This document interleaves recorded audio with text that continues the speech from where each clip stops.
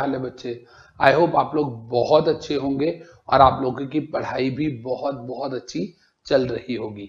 बेटा, आज की हमारी जो क्लास है it is one of the most important classes in the history of company law कह लो in the history of corporate governance कह लो in the history of corporate law कह लो in the history of corporate working कह लो। हमें sir कहना क्या चाह रहे हो?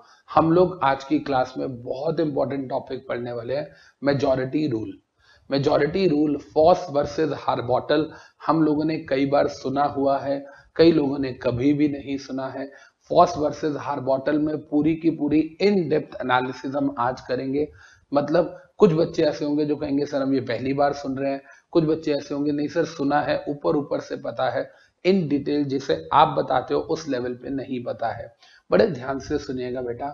इसको हम बोलते हैं मेजोरिटी रूल या concept of majority rule versus minority rule एक चीज़ हमें पता है कि कंपनी में जो कुछ भी होता है, वो मेजोरिटी के कहने पे होता है। मेजोरिटी मतलब शेयर होल्डर्स का रेजोल्यूशन पास होता है या बोर्ड ऑफ़ डायरेक्टर्स का रेजोल्यूशन पास होता है। बड़े ध्यान से सुनिएगा बेटा।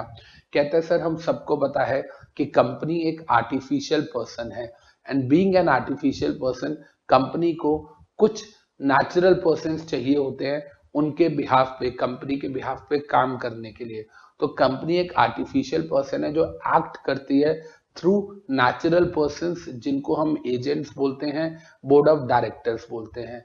तो कहना इसे company is an artificial person which is being operated by the natural person called board of directors या इसको हम लोग बोलते हैं कि कंपनी एक आर्टिफिशियल पर्सन है जो कि एक्ट करती है through an instrumentality through an agency और उसको बोला जाता है बोर्ड ऑफ़ डायरेक्टर्स कहते हैं, सर, हम सबको पता है कंपनी लॉ में कुछ काम ऐसे होते हैं जो बोर्ड रेजोल्यूशन से किए जाते हैं। खाली बोर्ड रेजोल्यूशन चाहिए होता है, उसके लिए और किसी के अप्रूवल की ज़रूरत नहीं होती।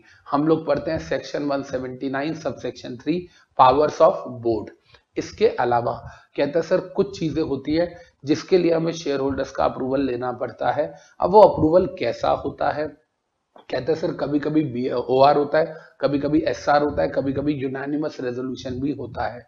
सबसे पहले हम एक चीज़ समझेंगे कि ये मेजोरिटी रूल होता क्या है एंड ये मेजोरिटी रूल कैसे काम करता है। समझिए, कहता सर, मान लीजिए कोई आइटम है जो कि सिर्फ़ बोर्ड रेजोल्यूशन से ही हो जाएगी शेयर होल्डर्स के अप्रूवल की ज़रूरत नहीं है।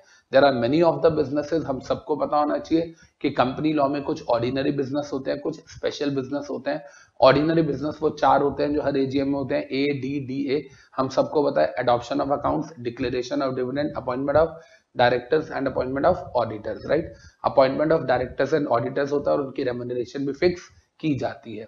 सर अगर हम बात करते हैं तो इन चारों कामों को ऑर्डिनरी बिज़नेस बोला जाता है और इन चारों के अलावा कंपनी कोई भी काम करती है, उसे स्पेशल बिज़नेस बोला जाता है। तो एजीएम के अंदर इन चारों के अलावा कोई स्पेशल बिज़नेस हो सकता है। जबकि ईजीएम में सिर्फ़ स्पेशल बिज़नेस होते हैं ऑर्डिनरी बिज़नेस नहीं होते। और हमें ये भी पता है कि जब भी स्पेशल बिज़नेस होगा तो उसकी जो नोटिस जाएगा एजीएम का या ईजीएम का, जिसमें स्पेशल बिज़नेस है, उस नोटिस के अंदर एक्सप्लेनेटरी स्टेटमेंट भी जाती है कि हम ऐसा क्यों कर रहे हैं। तो मोरल ऑफ़ द स्टोरीज ये सारी बातें मैं आपको क्यों बता रहा हूँ? क्योंकि अगर किसी चीज़ के लिए बीआर चाहिए, दस डायरेक्टर आए हैं, या नौ डायरेक्टर्स आए हैं, या दस आए हैं, जितने भी हैं अगर मान लो एक डायरेक्टर ने हाँ बोला, नौ ने ना बोल दिया, या दस में से चार ने हाँ बोला, छह ने ना बोल दिया तो क्या बोर्ड रेजोल्यूशन पास हुआ? नहीं। मेजोरिटी रूल लगा ही नहीं। आधे से ज़्यादा लोगों का अप्रूवल चाहिए होता है, तभी बोर्ड रेजोल्यूशन पास होता है। इसके अलावा कई बार ऐसा होता है B R plus O R चाहिए। बोर्ड रेजोल्यूशन पास हुआ, लेकिन ओ आर के लिए जब मीटिंग बुलाई जनरल मीटिंग 100 मेंबर्स आए 100 में से 48 ने हाँ बोला 52 ने ना बोल दिया। तो ऑर्डिनरी रेजोल्यूशन पास नहीं हुआ, यहाँ भी मेजोरिटी रूल कई बार होता है स्पेशल मेजोरिटी चाहिए होती है स्पेशल मेजोरिटी मीन ऐसा सौ में से 75 का अप्रूवल चाहिए होता है. वहाँ पर मान लो अगर 74 ने हाँ बोला 26 ना बोल रहे हैं तो भी वैलिड नहीं हुआ. कई जगह पर होता है सुपर मेजोरिटी चाहिए होती है, ध्यान से समझिएगा.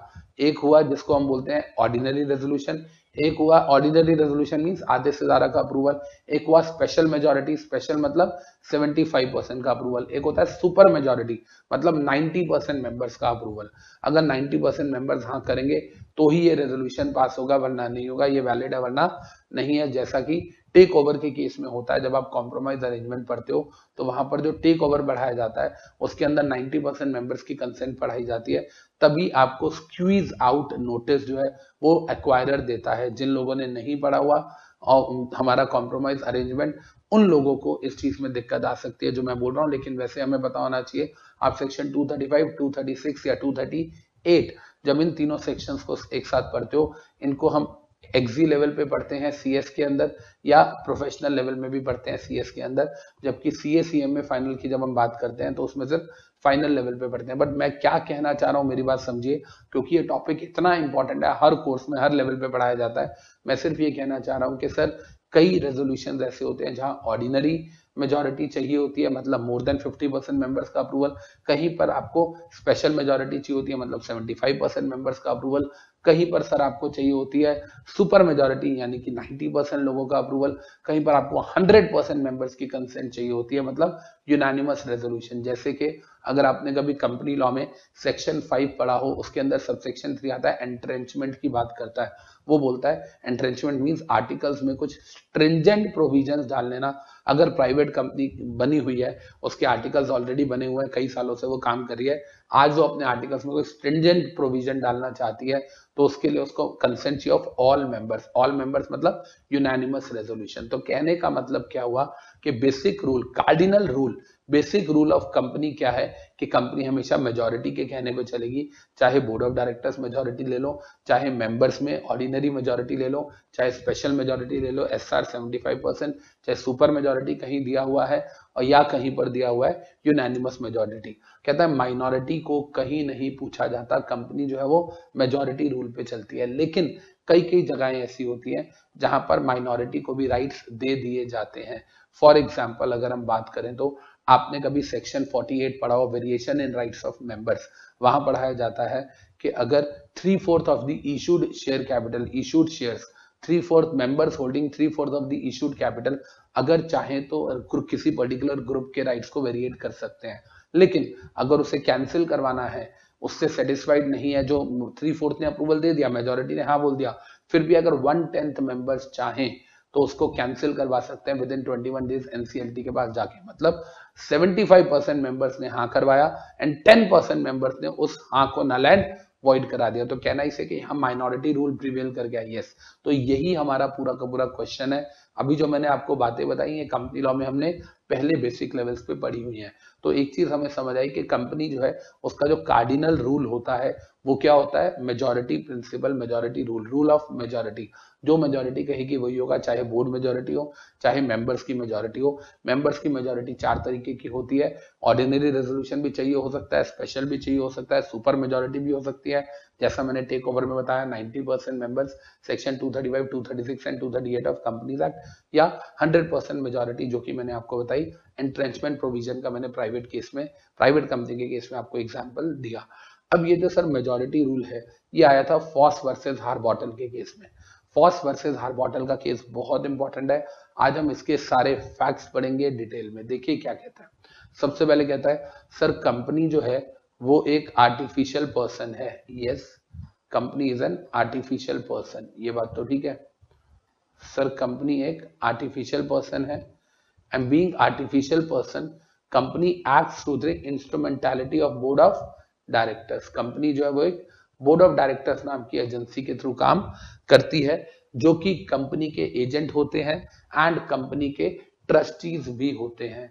Why they are called agent because they are acting on behalf of the company trustee हम उन्हें इंडियन ट्रस्ट एक्ट के हिसाब से नहीं बोलते, क्योंकि इंडियन ट्रस्ट एक्ट 1882 कहता है कि अगर आप ट्रस्टी हो तो इसका मतलब है ट्रस्ट की सारी प्रॉपर्टी आपके नाम पे है, जबकि कंपनी की तो सेपरेट लीगल एंटाइटी होती है। कंपनी की प्रॉपर्टी कंपनी के नाम पे होती है डायरेक्टर्स के नाम पे नहीं होती। लेकिन क्योंकि उनका कंपनी के साथ फ्यूडिशरी रिलेशनशिप होता है relationship of trust and confidence होता है, इसलिए उन्हें ट्रस्टी भी बोला जाता है। खैर कंपनी एक आर्टिफिशियल पर्सन है, जो natural person board of directors के थ्रू एक्ट करती है and cardinal rule basic rule जो प्राइमरी रूल है, वो क्या है? मेजोरिटी हमेशा मेजोरिटी की ही चलेगी। हाँ कुछ कुछ केसेस में कंपनी लॉ में माइनॉरिटी को भी राइट्स दिए गए हैं। जैसे मैंने आपको सेक्शन 48 वेरिएशन इन राइट्स का एग्जांपल दिया। या सेक्शन 115 अगर आपने कभी सुना हो resolution requiring special notice members holding one percent of the voting power या शेयर्स जिनकी एग्रीगेट वैल्यू पाँच लाख रुपए हो, वो मेंबर्स कंपनी को एजीएम से चौदह दिन पहले किसी भी चीज़ का स्पेशल नोटिस भेज सकते हैं। अगर आपको सेक्शन 115 याद आ रहा हो तो क्योंकि 115 जो है, ये ऑडिटर्स एंड डायरेक्टर से भी रिलेट करता है।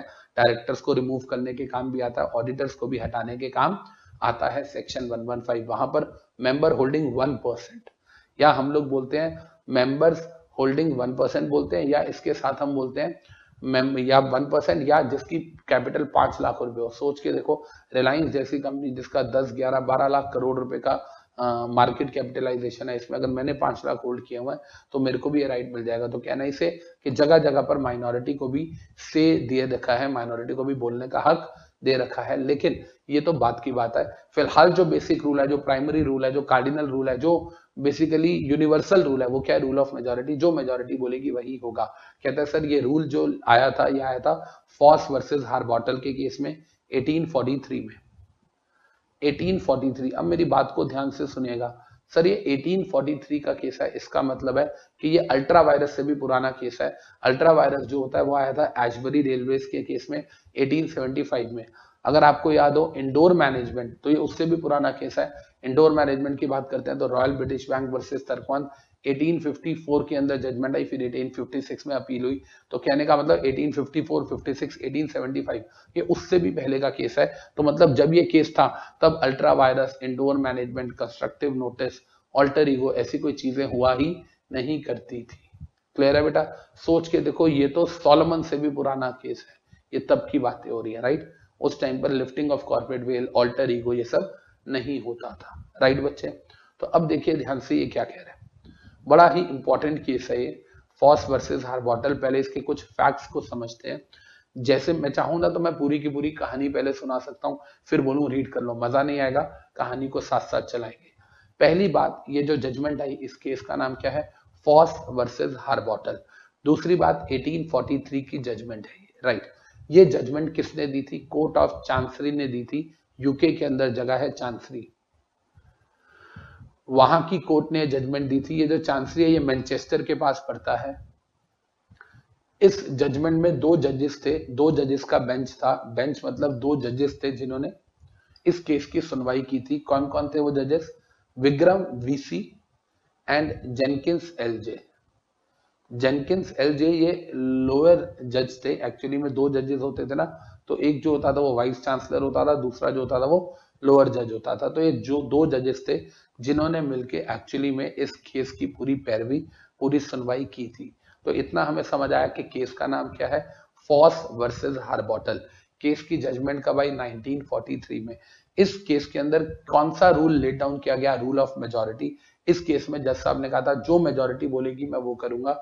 मतलब जो मेजोरिटी कहेगी कंपनी वो करेगी। एंड माइनॉरिटी बिना बात के मेरे पास ऐसी उठ के ना आ जाए कि देखो जी मेजोरिटी ने ऐसा किया, हम सेटिस्फाइड नहीं है।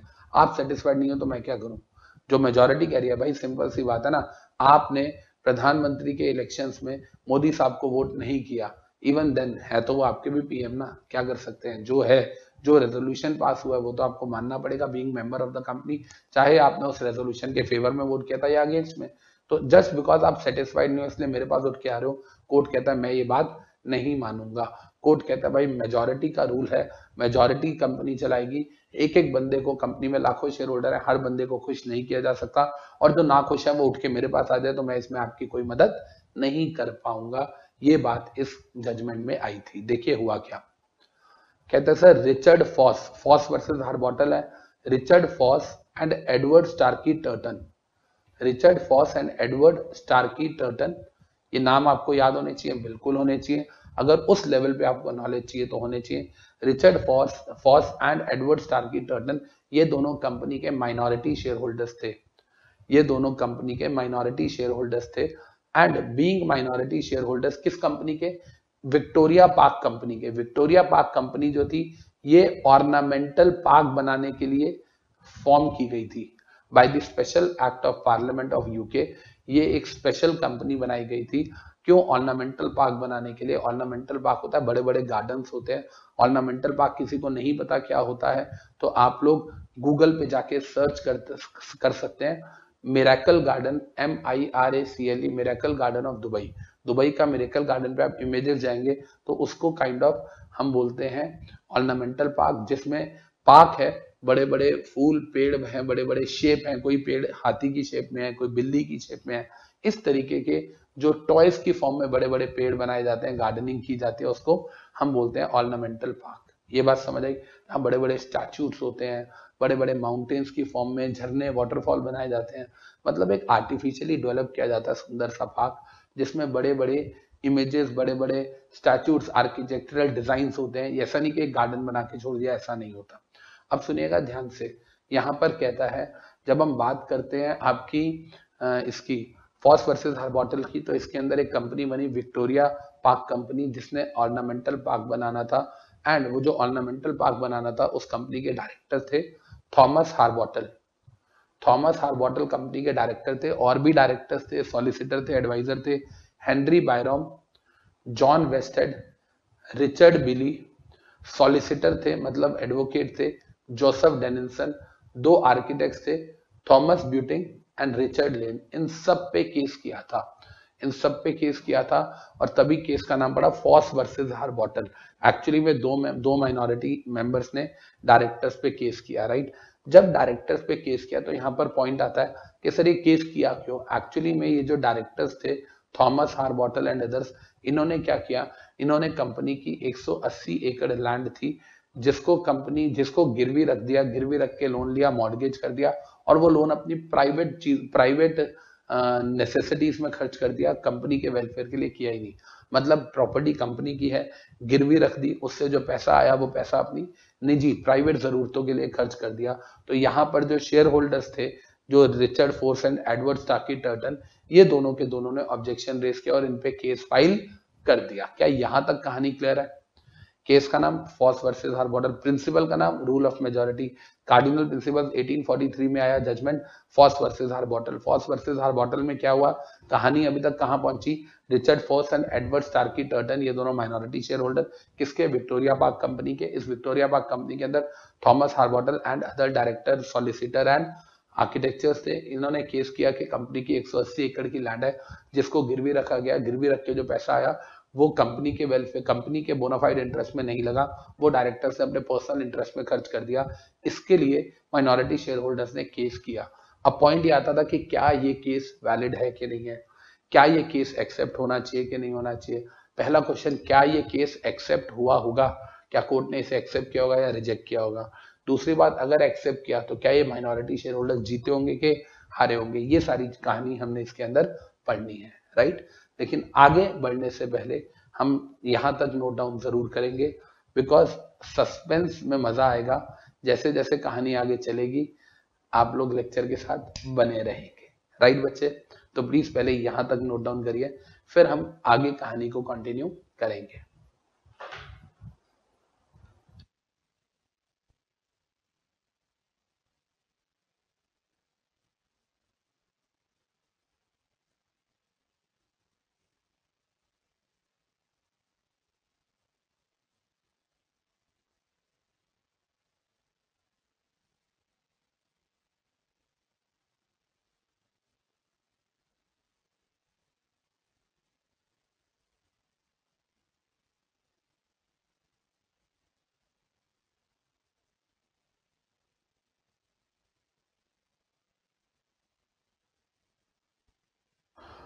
आपको फॉस का नाम पता होना चाहिए, आपको स्टार्की टर्टन का नाम पता होना चाहिए, आपको हर बॉटल का नाम पता होना चाहिए। आपको Wigram VC and Jenkins, L J, ये जो जजेस हैं, उनका भी नाम पता होना चाहिए। Foss versus Harbottle 1843 rule of majority.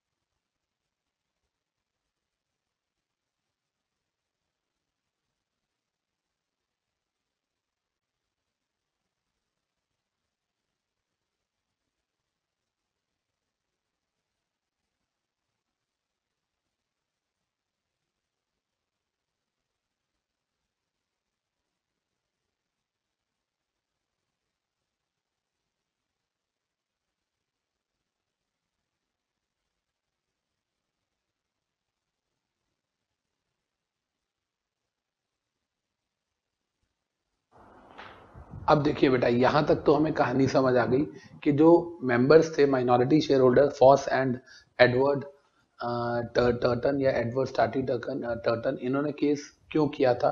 क्योंकि कंपनी ने, जो डायरेक्टर्स थे, उन्होंने 180 एकड़ की जो लैंड थी बेसिकली जो प्रोजेक्ट था, उसकी जो लैंड थी, उसको मॉडगेज किया और उसके बाद जो पैसा आया, उसको अपनी पर्सनल नीड्स में या you can say mala fide interest of the company company के अगेंस्ट कंपनी के बोनाफाइड इंटरेस्ट में खर्च नहीं किया राइट देखिए यहाँ पर लिखा हुआ है can shareholder sue on behalf of company ये क्वेश्चन सामने आया।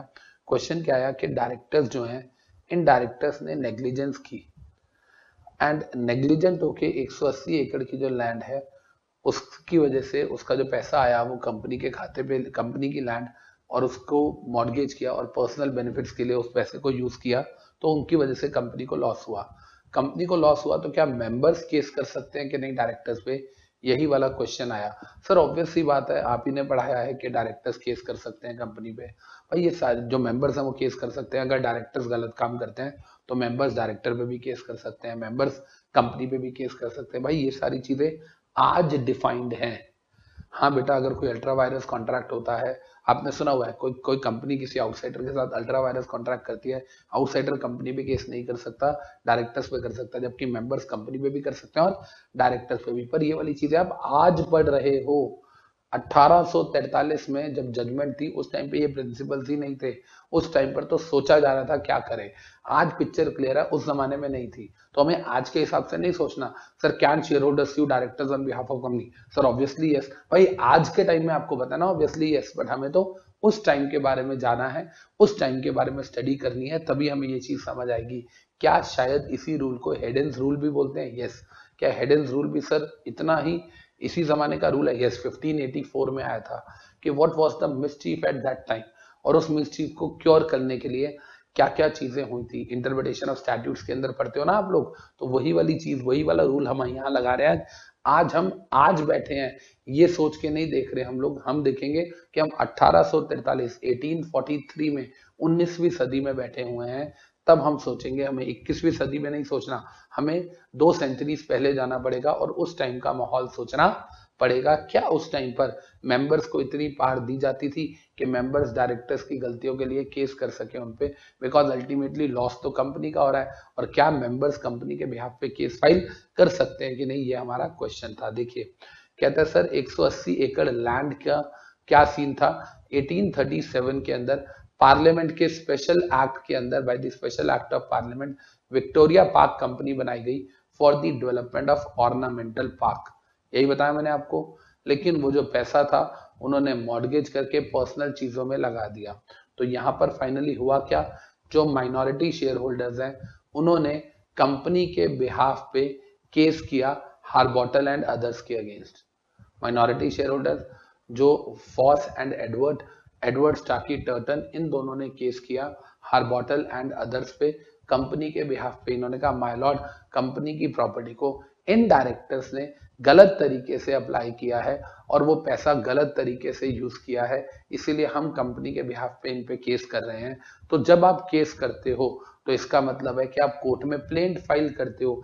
जब आप प्लेंट फ़ाइल करते हो सिविल प्रोसीजर कोड 1908 के अंदर प्लेंट फ़ाइल होती है बेटा। उसमें हर प्लेंट में आप प्लेंटिफ होते हो। सामने वाला रिस्पोंडेंट होता है या आपको प्लेंटिफ की जगह पेटिशनर भी बोला जाता है और आप पिटिशन फ़ाइल करते हो। सामने वाले को रिस्पोंडेंट की जगह डिफेंडेंट भी हम बोल सकते हैं। बट मेरी बात सुनिएगा ध्यान से। जब भी आप कोई प्लेंट या पिटीशन फ़ाइल करते हो, उसमें दो चीज़ें ज़रूर लिखनी होती हैं।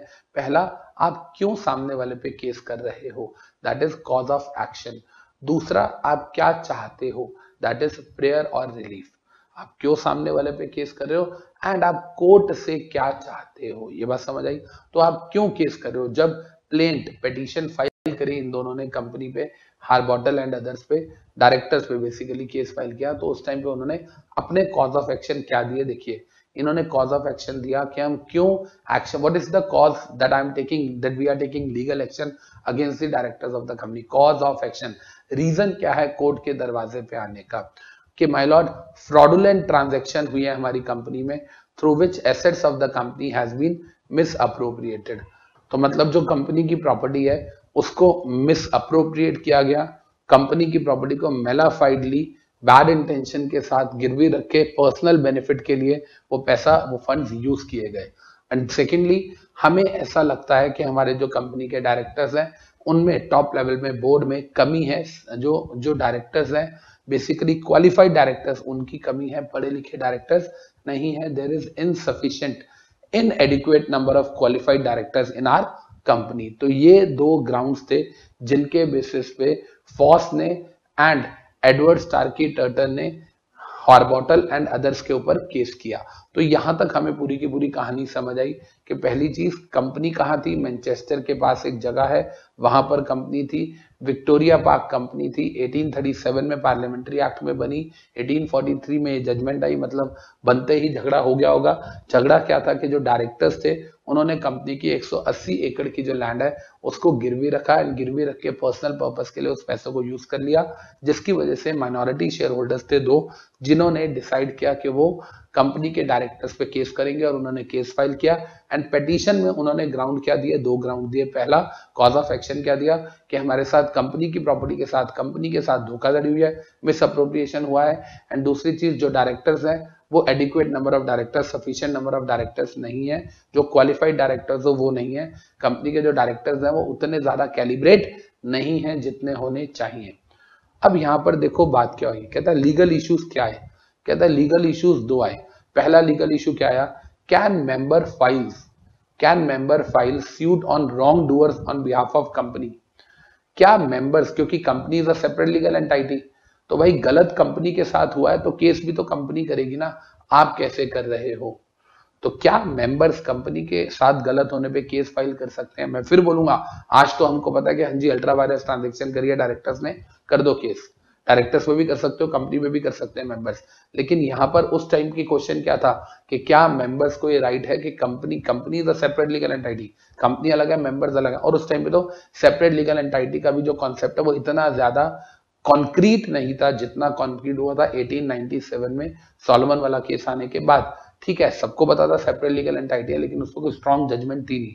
लेकिन जज साहब ने बोला कि उस टाइम पे क्वेश्चन क्या आया? क्या मेंबर्स को राइट है? कंपनी के साथ जो गलत हुआ है, उसके बिहाफ पे डायरेक्टर्स पे केस करने का। एंड सेकेंडली क्या गिल्टी पार्टी जिसने भी गलत किया है they be held liable for its wrong deeds जिन्होंने भी गलत किया है, क्या मेंबर्स को केस करने का राइट है? अगर है तो क्या मेंबर्स उन्हें गलत ठहरा सकते हैं सामने वाले को? क्या मेंबर्स उन्हें सजा दिलवा सकते हैं जिन्होंने गलत किया है? क्या मेंबर्स के पास राइट है या नहीं है? और अगर है तो अगर वो केस करेंगे तो क्या वो जीत भी जाएँगे? क्या सामने वाले को उसकी रॉन्ग डीड्स की सजा मिलेगी? ये क्वेश्चन था कोर्ट के सामने। राइट बच्चे? अब हुआ क्या? दोनों पार्टीज़ आई। दोनों पार्टीज़ में दलीलें चल रही हैं, बातें चल रही हैं। दोनों पार्टीज़ अपनी अपनी बात को प्रूफ करने में लगी हैं। तो माइनॉरिटी शेयर होल्डर जो थे वो दोनों, उन्होंने क्या बोला? सुनिए। उन्होंने कहा my lord company has been incorporated under the act company जो है वो हमारे पार्लियामेंट्री एक्ट में बनी है। एंड इस एक्ट के हिसाब से कंपनी की जो मैनेजमेंट है वो बोर्ड ऑफ़ डायरेक्टर्स के पास है। And board of directors are the trustees of the company हम उन पे विश्वास करते हैं। कंपनी उन पे विश्वास करती है। हम तो शेयर होल्डर है। कंपनी उन पे विश्वास करती है। एंड उन्होंने कंपनी के साथ विश्वासघात किया है। इन्होंने कंपनी के साथ अलग किया है। देयरफॉर ये लाइबल होने चाहिए। माइनॉरिटी शेयर होल्डर्स का कहना एकदम ठीक है राइट कि माइलॉर्ड कंपनी जो है चाहे सेपरेट लीगल एंटाइटी है, लेकिन चलती तो डायरेक्टर्स के थ्रू है directors are the agents and trustees of the company तो इसलिए कंपनी के साथ विश्वासघात हुआ तो ये लाइबल होने चाहिए। जो डायरेक्टर्स थे हार्बोटल एंड अदर्स इनका अपना व्यू पॉइंट था। इन्होंने क्या बोला? My lord does plaintiff plaintiff mean वो दोनों माइनॉरिटी शेयर होल्डर्स क्या इनके पास राइट है भी कंपनी के बिहाफ पे हमें केस करने का? क्या इनके पास राइट है? ये कह रहे हैं माइलॉर्ड इन्होंने गलत किया है। हमारी कंपनी के साथ गलत किया। हम कंपनी के बिहाफ पे आए हैं इनके, इनसे मुआवजा लेने के लिए। हम कंपनी के बिहाफ पे केस करें। कहते हैं माइलॉर्ड इनके कहने से थोड़ी कंपनी का बिहाफ हो जाएगा। इनके कहने से कंपनी का बिहाफ कैसे हो जाएगा? कंपनी के बिहाफ पे तब आए होते जब बीआर पास करके आए होते। या हमने डायरेक्टर्स ने ऑथराइज किया होता, या मेंबर्स ने ईजीएम बुलाई होती, इन्होंने extra ordinary general meeting members ने ओआर पास करके ऑथराइज किया होता। तो my lord how are they authorise by company they are saying we are suing the directors हम हार्बोटल एंड अदर्स पे केस करें। कंपनी के बिहाफ पे माय लॉर्ड जब आप किसी के बिहाफ पे आते हो तो वो ऑथराइज करता है आपको, इनको कंपनी ने ऑथराइज कैसे किया? क्या बोर्ड ऑफ़ डायरेक्टर्स ने बीआर पास किया हमने? हमने तो इन्हें कोई ऑथराइजेशन नहीं दी। हम थोड़ी देंगे, हम पे केस करने की ऑथराइजेशन हम ये थोड़ी कहेंगे, तथास्तु जाओ, हमने ऑथराइज किया, हम पे ही केस करो। हमने तो इनको कोई पावर दी नहीं बी आर पास करके ऑथराइजेशन की। और जहाँ तक हमारी नॉलेज में है शेयर होल्डर्स ने भी नहीं दी मेजोरिटी शेयर होल्डर्स ने भी नहीं दी। तो क्योंकि मेजोरिटी शेयर ही हमारे पास है। हमारे पास ही मेजोरिटी शेयर हैं तो हमारे बिना तो वैसे कोई रेजोल्यूशन पास नहीं होता, हम डायरेक्टर्स भी और मेंबर्स भी हैं। तो कहने का मतलब ये कि माइलॉर्ड ये जो बातें बोल रहे हैं कि कंपनी के ब्याह पे आए हैं, कंपनी ने ऑथराइज किया कंपनी के साथ गलत हुआ, हम कंपनी के साथ खड़े हैं। ओ भाई, तुम्हें कंपनी ने बोला कब? ना तो तुम्हारे पास कोई रेजोल्यूशन है बोर्ड का, ना ही तुम्हारे पास कोई मेंबर्स का रेजोल्यूशन है। तो माइलॉर्ड आप बताओ, हम हम लाइबल हैं कि नहीं? वो बात की बात है। हार बॉटल एंड उसके काउंसिल्स ने बोला कि माइलॉर्ड मेरा मोकिल मेरा क्लाइंट लाइबल है कि नहीं? बात की बात है। ये बताओ, ये केस कहीं स्टैंड भी करता है? ये बताओ कि हम लाइबल होंगे या नहीं? ये तो तब होगा जब केस वैलिड है। क्या इनका केस करना ही वैलिड है? हमें तो इनके केस करने पर ही डाउट हो रहा है। हमें तो इनके केस करने पे ही डाउट हो रहा है। हमें तो इनकी पावर पे डाउट हो रहा है बिकॉज़ ये कह रहे हैं हम कंपनी के बिहाफ पे आए हैं, लेकिन ना ही कंपनी ने इनको बोर्ड रेजोल्यूशन के थ्रू ऑथराइज किया, ना ही कंपनी ने इसको ऑर्डिनरी रेजोल्यूशन के थ्रू अपॉइंट किया, ना मेंबर्स ने किया, ना बोर्ड ने किया। तो अपने आप भी कोई उठ के आ जाए और बोले, मैं कंपनी के बिहाफ पे आ रहा हूँ। ऐसे थोड़ी होता है माइलॉर्ड कोई तो ऑथराइजेशन होनी चाहिए। तो यहाँ पर हियरिंग हुई और कोर्ट ने बोला द कोर्ट इज़ एडजर्न देखेंगे अगली बार क्या करना है। लेकिन यहाँ तक हमें बात समझ आई। बहुत अच्छे पॉइंट्स चल रहे हैं यहाँ तक। क्या पॉइंट्स हैं? कि माइलॉर्ड कंपनी के साथ गलत हुआ है तो हम तो केस कर रहे हैं बिकॉज़ कंपनी के साथ गलत हुआ कॉज ऑफ़ एक्शन क्या है? कंपनी के साथ गलत हुआ और डायरेक्टर्स जो है वो क्वालिफाइड डायरेक्टर्स नहीं है। बहुत मिनिमम मतलब जो क्वालिफिकेशन चाहिए डायरेक्टर्स की, जो पढ़े लिखे चाहिए कंपनी में इनसिग्निफिकेंट नंबर या इनएडुकेट नंबर ऑफ़ डायरेक्टर्स हैं, पढ़े लिखे बाकी सब ऐसे ही है। लीगल इश्यूज़ माइलॉर्ड कंपनी के साथ गलत हुआ है एंड गलत हुआ है तो हम केस करना चाह रहे हैं। क्या पहली बात केस एक्सेप्ट होगा? दूसरी बात अगर होगा तो क्या डायरेक्टर्स हारेंगे? अब यहाँ पर दोनों ने अपनी अपनी पार्टी ने क्या बात बोली? माई लॉर्ड कंपनी एक सेपरेट लीगल एंटाइटी है। बाय द एक्ट बनी है मान लिया। लेकिन कंपनी जो है उसके साथ गलत हुआ है। डायरेक्टर्स ने विश्वासघात किया इसलिए वो लाइबल होने चाहिए। डायरेक्टर्स कहते हैं माई लॉर्ड हम लाइबल हैं या नहीं ये बात की बात है। लाइबिलिटी तो तब होगी जब इनका केस करना जायज़ होगा। क्या इनका केस करना जायज़ है? ये कह रहे हैं कंपनी के बिहार पे आए हैं। कैसे आए हैं? ना तो बोर्ड ऑफ़ डायरेक्टर्स ने ऑथराइज किया इन, इनको ना मेंबर ने ऑथराइज किया तो क्या अपने आप ही उठ के आ गए और बोल दें कि नहीं जी, हम कंपनी के बिहाफ पे आए माइलॉर्ड मेरे हिसाब से तो ये केस आपको एक्सेप्ट ही नहीं करना चाहिए, ये तो रिजेक्ट कर देना चाहिए। कोर्ट ने बोला, नहीं जी, हम केस को तो एडमिट कर रहे हैं, लेकिन इसके बारे में हम फ्यूचर में नेक्स्ट हियरिंग में डिस्कस करेंगे आगे की बातें। राइट जी? तो यहाँ तक आई होप कि हमें पूरा केस समझ आ गया। तो प्लीज़ आगे बढ़ने से पहले एक बार आप इन चीज़ों को नोट डाउन कर लीजिए और फिर हम इसकी कहानी के बाद क्लाइमैक्स पे चलेंगे।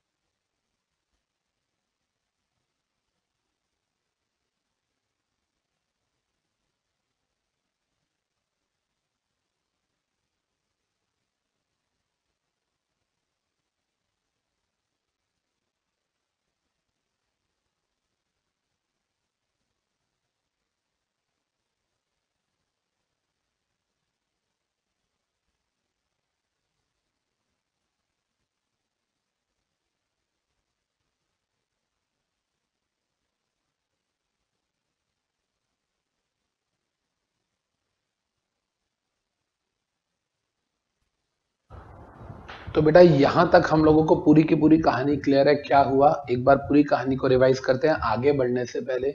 यहाँ तक हमें पूरी बात समझ आ चुकी है। ध्यान से सुनिएगा प्लीज़ लिखने में आपका ध्यान ना हो, इसलिए मैं ऊपर की स्लाइड कर रहा हूँ। सर, हमें अच्छी तरह एक बात समझ आ गई कि हुआ क्या? एक कंपनी बनाई गई विक्टोरिया पार्क कंपनी 1837 में by the special act of parliament 180 एकड़ की land for the development of ornamental park Harbottle and others उसके डायरेक्टर्स डायरेक्टर्स ने क्या किया? डायरेक्टर्स ने कंपनी की एसेट्स को प्रॉपर्टी को मॉडगेज किया लोन लिया और वो लोन अपने पर्सनल रिक्वायरमेंट्स में किया। यूज़ जो कि कंपनी के अगेंस्ट हुआ, जो कि bona fide interest of the company में नहीं हुआ मेलाफाइड हुआ कंपनी की प्रॉपर्टीज़ के कंपनी के पैसे को मिस अप्रोप्रिएट किया गया। इस मिस अप्रोप्रिएशन के अगेंस्ट दो माइनॉरिटी शेयर होल्डर्स ने आवाज़ उठाई। एक हो गया फॉस और एक हो गया टर्टन इन दोनों ने आवाज़ उठाई और इन दोनों ने कहा कि माइलॉर्ड कंपनी के साथ गलत हुआ है। और डायरेक्टर जिन्होंने गलत किया, हम उन्हें लाइबल ठहराना चाहते हैं। तो जब उन्होंने अपनी प्लेंट फ़ाइल की तो प्लेंट में लिखा कॉज ऑफ़ एक्शन कि कंपनी की प्रॉपर्टी को मिसअप्रोप्रिएट किया गया है एंड जो कंपनी के डायरेक्टर्स हैं प्रेजेंट डायरेक्टर्स हैं, उसमें क्वालिफाइड डायरेक्टर्स की कमी है। हम इन दो वजहों से केस करना चाहते हैं कि डायरेक्टर्स ने गलत किया है और वो लाइबल होने चाहिए। अब जब ये वाली बात गई तो दोनों की दोनों पार्टीज़ आमने सामने आई। तो उन्होंने कहा माइलॉर्ड कंपनी जो है वो सेपरेट लीगल एंटाइटी है और कंपनी माना सेपरेट लीगल एंटाइटी है। डायरेक्टर्स जो है, वो कंपनी के ट्रस्टीज होते हैं कंपनी के एजेंट्स होते हैं कंपनी के बिहाफ पे सब कुछ करते हैं, लेकिन कंपनी के बिहाफ पे मिस अप्रोप्रिएशन थोड़ी करते हैं। इन्होंने तो कंपनी के बिहाफ पे कंपनी की ही एसेट्स को मिस अप्रोप्रिएट कर दिया कंपनी के साथ विश्वासघात किया ब्रीच ऑफ़ ट्रस्ट किया। अगर हम इंडियन पेनल कोड की बात करें आईपीसी 1860 की तो तो ब्रीच ऑफ़ ट्रस्ट जो है वो सेक्शन 406 में आता है। तो माइलॉर्ड इन्होंने तो ब्रीच ऑफ़ ट्रस्ट किया। तो इसीलिए ये लाइबल होने चाहिए और इनको बोलो कि इनका जो नुकसान इन्होंने कंपनी का किया, उसकी भरपाई करें। डायरेक्टर्स ने बोला माइलॉर्ड देखो, हम लाइबल हैं कि नहीं, ये तो बात की बात है। पहले बताओ, इन्हें केस करने का राइट है क्या? बिकॉज़ ये कह रहे हैं, हम कंपनी के बिहाफ पे आए हैं। हम कंपनी की तरफ़ से खड़े हैं। माई लॉर्ड कंपनी के बिहाफ पे कैसे आए हैं? बोलने से थोड़ी आ जाएँगे। ना तो बोर्ड ऑफ़ डायरेक्टर्स ने हमने इन्हें ऑथराइज किया, ना मेजोरिटी शेयर होल्डर्स ने किया। ना मेजोरिटी शेयर होल्डर्स ने इन्हें ऑथराइज किया, ना मेंबर्स ना ना डायरेक्टर्स ने ऑथराइज किया, ना बी है, ना ओ है तो ये कैसे आए हैं? माई लॉर्ड अगर हमारे काम इतने ही गलत होते तो जो मेजोरिटी शेयर होल्डर्स हैं, क्या वो ऑब्जेक्शन नहीं करते? सिर्फ़ ये दो ही लोग आए हैं, इन्हीं को ऑब्जेक्शन है, बाकी सबका है? कोर्ट ने कहा, यार, बात तो ठीक है। तो जो कोर्ट है बेसिकली कोर्ट को डायरेक्टर्स की ये वाली बात जो है, ये समझ आ गई। कोर्ट को डायरेक्टर्स की ये वाली बात समझ आ गई कि भाई, क्या इनको वाकई में केस करने का राइट है? ये कह तो रहे हैं कि हम कंपनी के बिहाफ पे आए हैं, लेकिन उस बिहाफ का कोई प्रूफ है आपके पास? क्या माइलॉर्ड इनसे पूछो, इनके पास बोर्ड ऑफ़ डायरेक्टर्स का ऑथराइजेशन है? नहीं है। क्या मेंबर्स का ऑथराइजेशन है? नहीं है।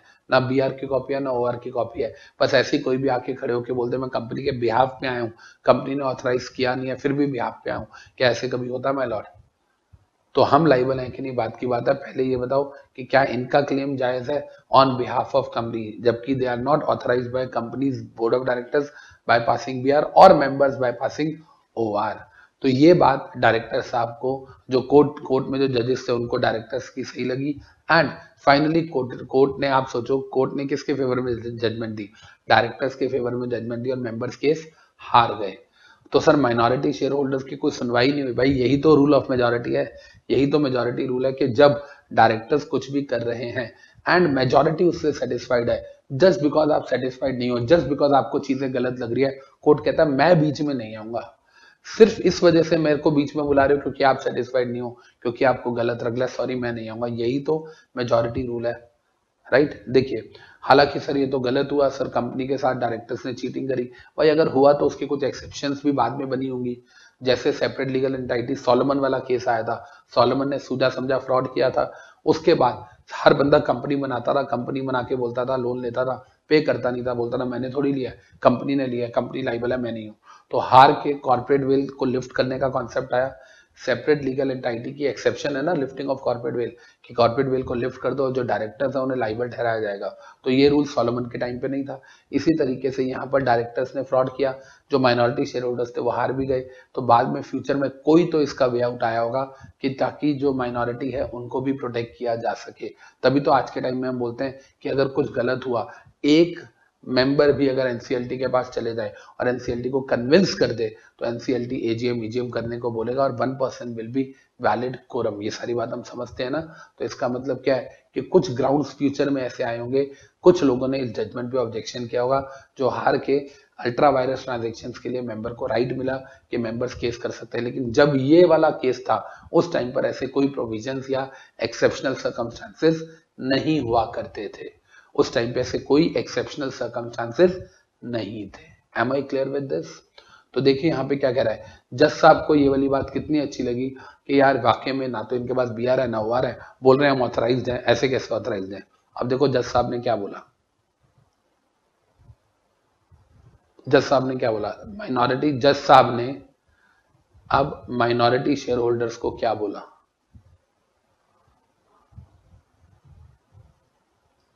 देखो जी।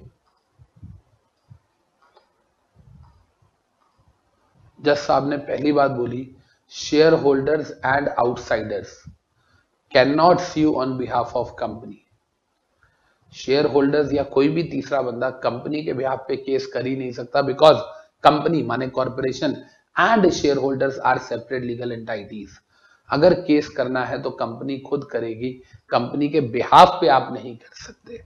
कंपनी खुद करेगी। कंपनी सेपरेट लीगल एंटाइटी है। Company may sue and be sued on its own name company case कर भी सकती है और कंपनी पे केस हो भी सकता है। Member may not take any legal action on behalf of company you are not authorise by the company अगर आप ऑथराइज होते तो हम बोलते कि मेंबर खुद आए हैं। यहाँ पर तो आप खुद उठ के आगे बिना ऑथराइजेशन के। आपको किसने राइट दिया? आप कह रहे हो हम कंपनी के बिहाफ पे आए भाई कंपनी को आने दो ना। कंपनी मींस व्हाट जो मेजोरिटी चाहेगी। और मेजोरिटी आना नहीं चाह रही कोर्ट में मेजोरिटी को डायरेक्टर्स के एक्शन से दिक्कत है नहीं। तो आप माइनॉरिटी खुद को कंपनी नहीं बोल सकते। आप ये नहीं कह सकते कि हम कंपनी को रिप्रेजेंट कर रहे हैं। मेजोरिटी हमेशा कंपनी को रिप्रेजेंट करती है माइनॉरिटी नहीं।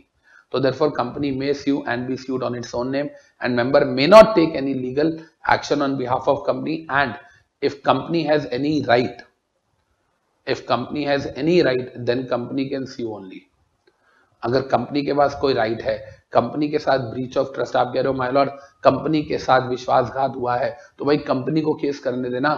And company means majority majority members आए, कोई आ ही नहीं रहा तुम्हारे अलावा तो सिर्फ़ तुम्हें ही लग रहा है कंपनी के साथ गलत हुआ, और किसी को नहीं लग रहा क्या?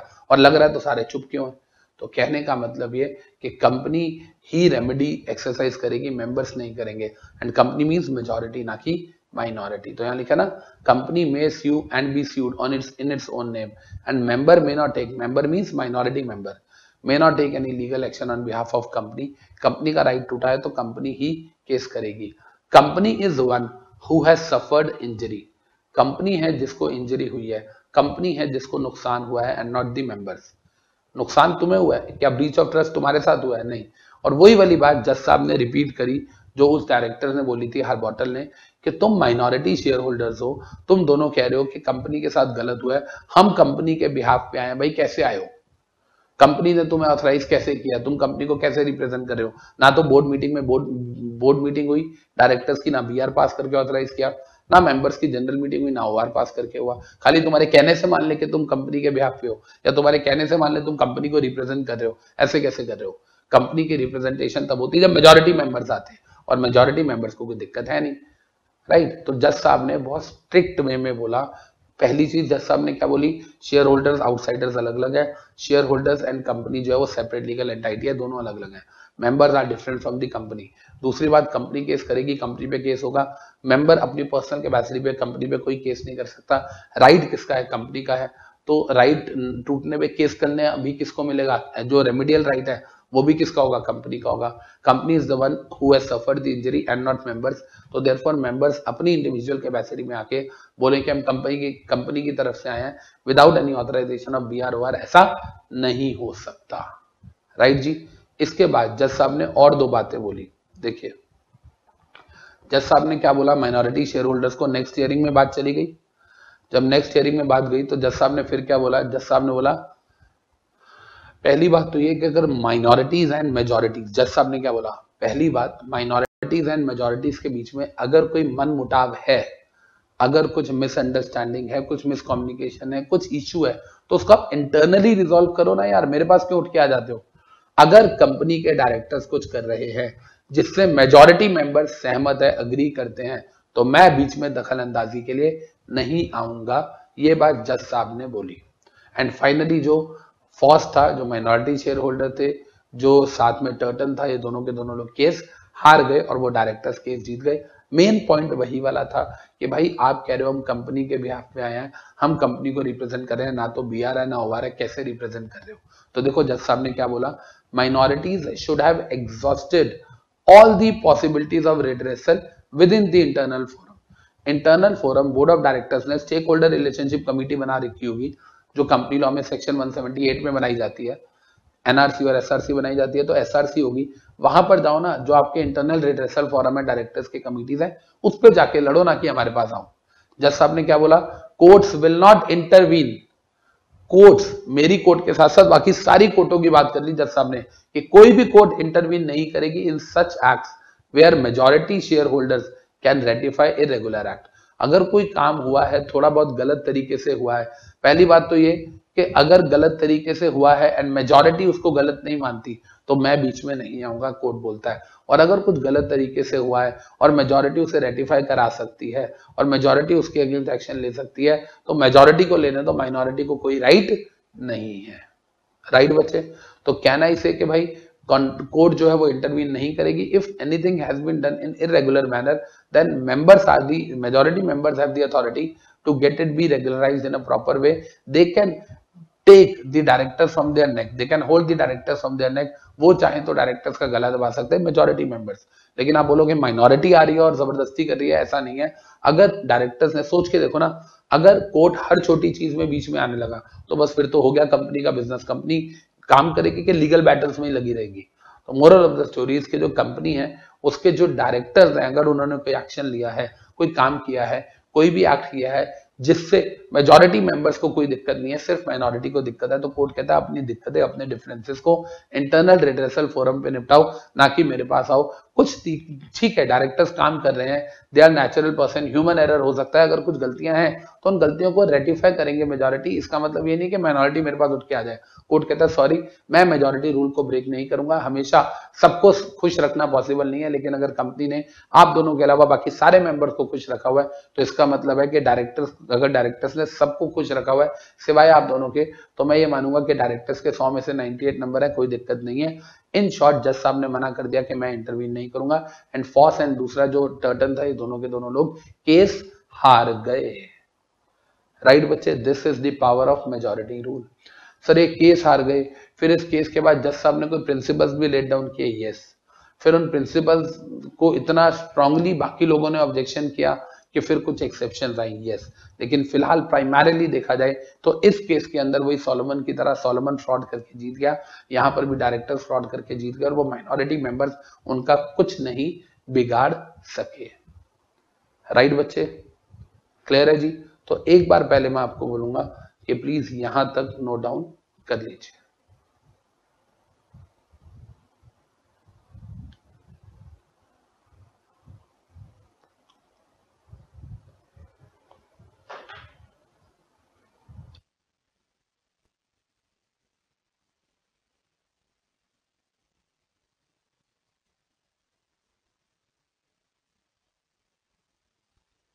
जो पॉइंट नंबर सेवन है, उसमें जो डायरेक्टर्स का मेन पॉइंट है, ये जो ग्रीन स्क्वायर के अंदर मैंने डाला है this was the main point of directors जिसपे वो केस जीते कि my lord they are saying कि कंपनी की तरफ़ से आए हैं। कंपनी मींस व्हाट ना तो बी से ऑथराइज है ना ओआर से।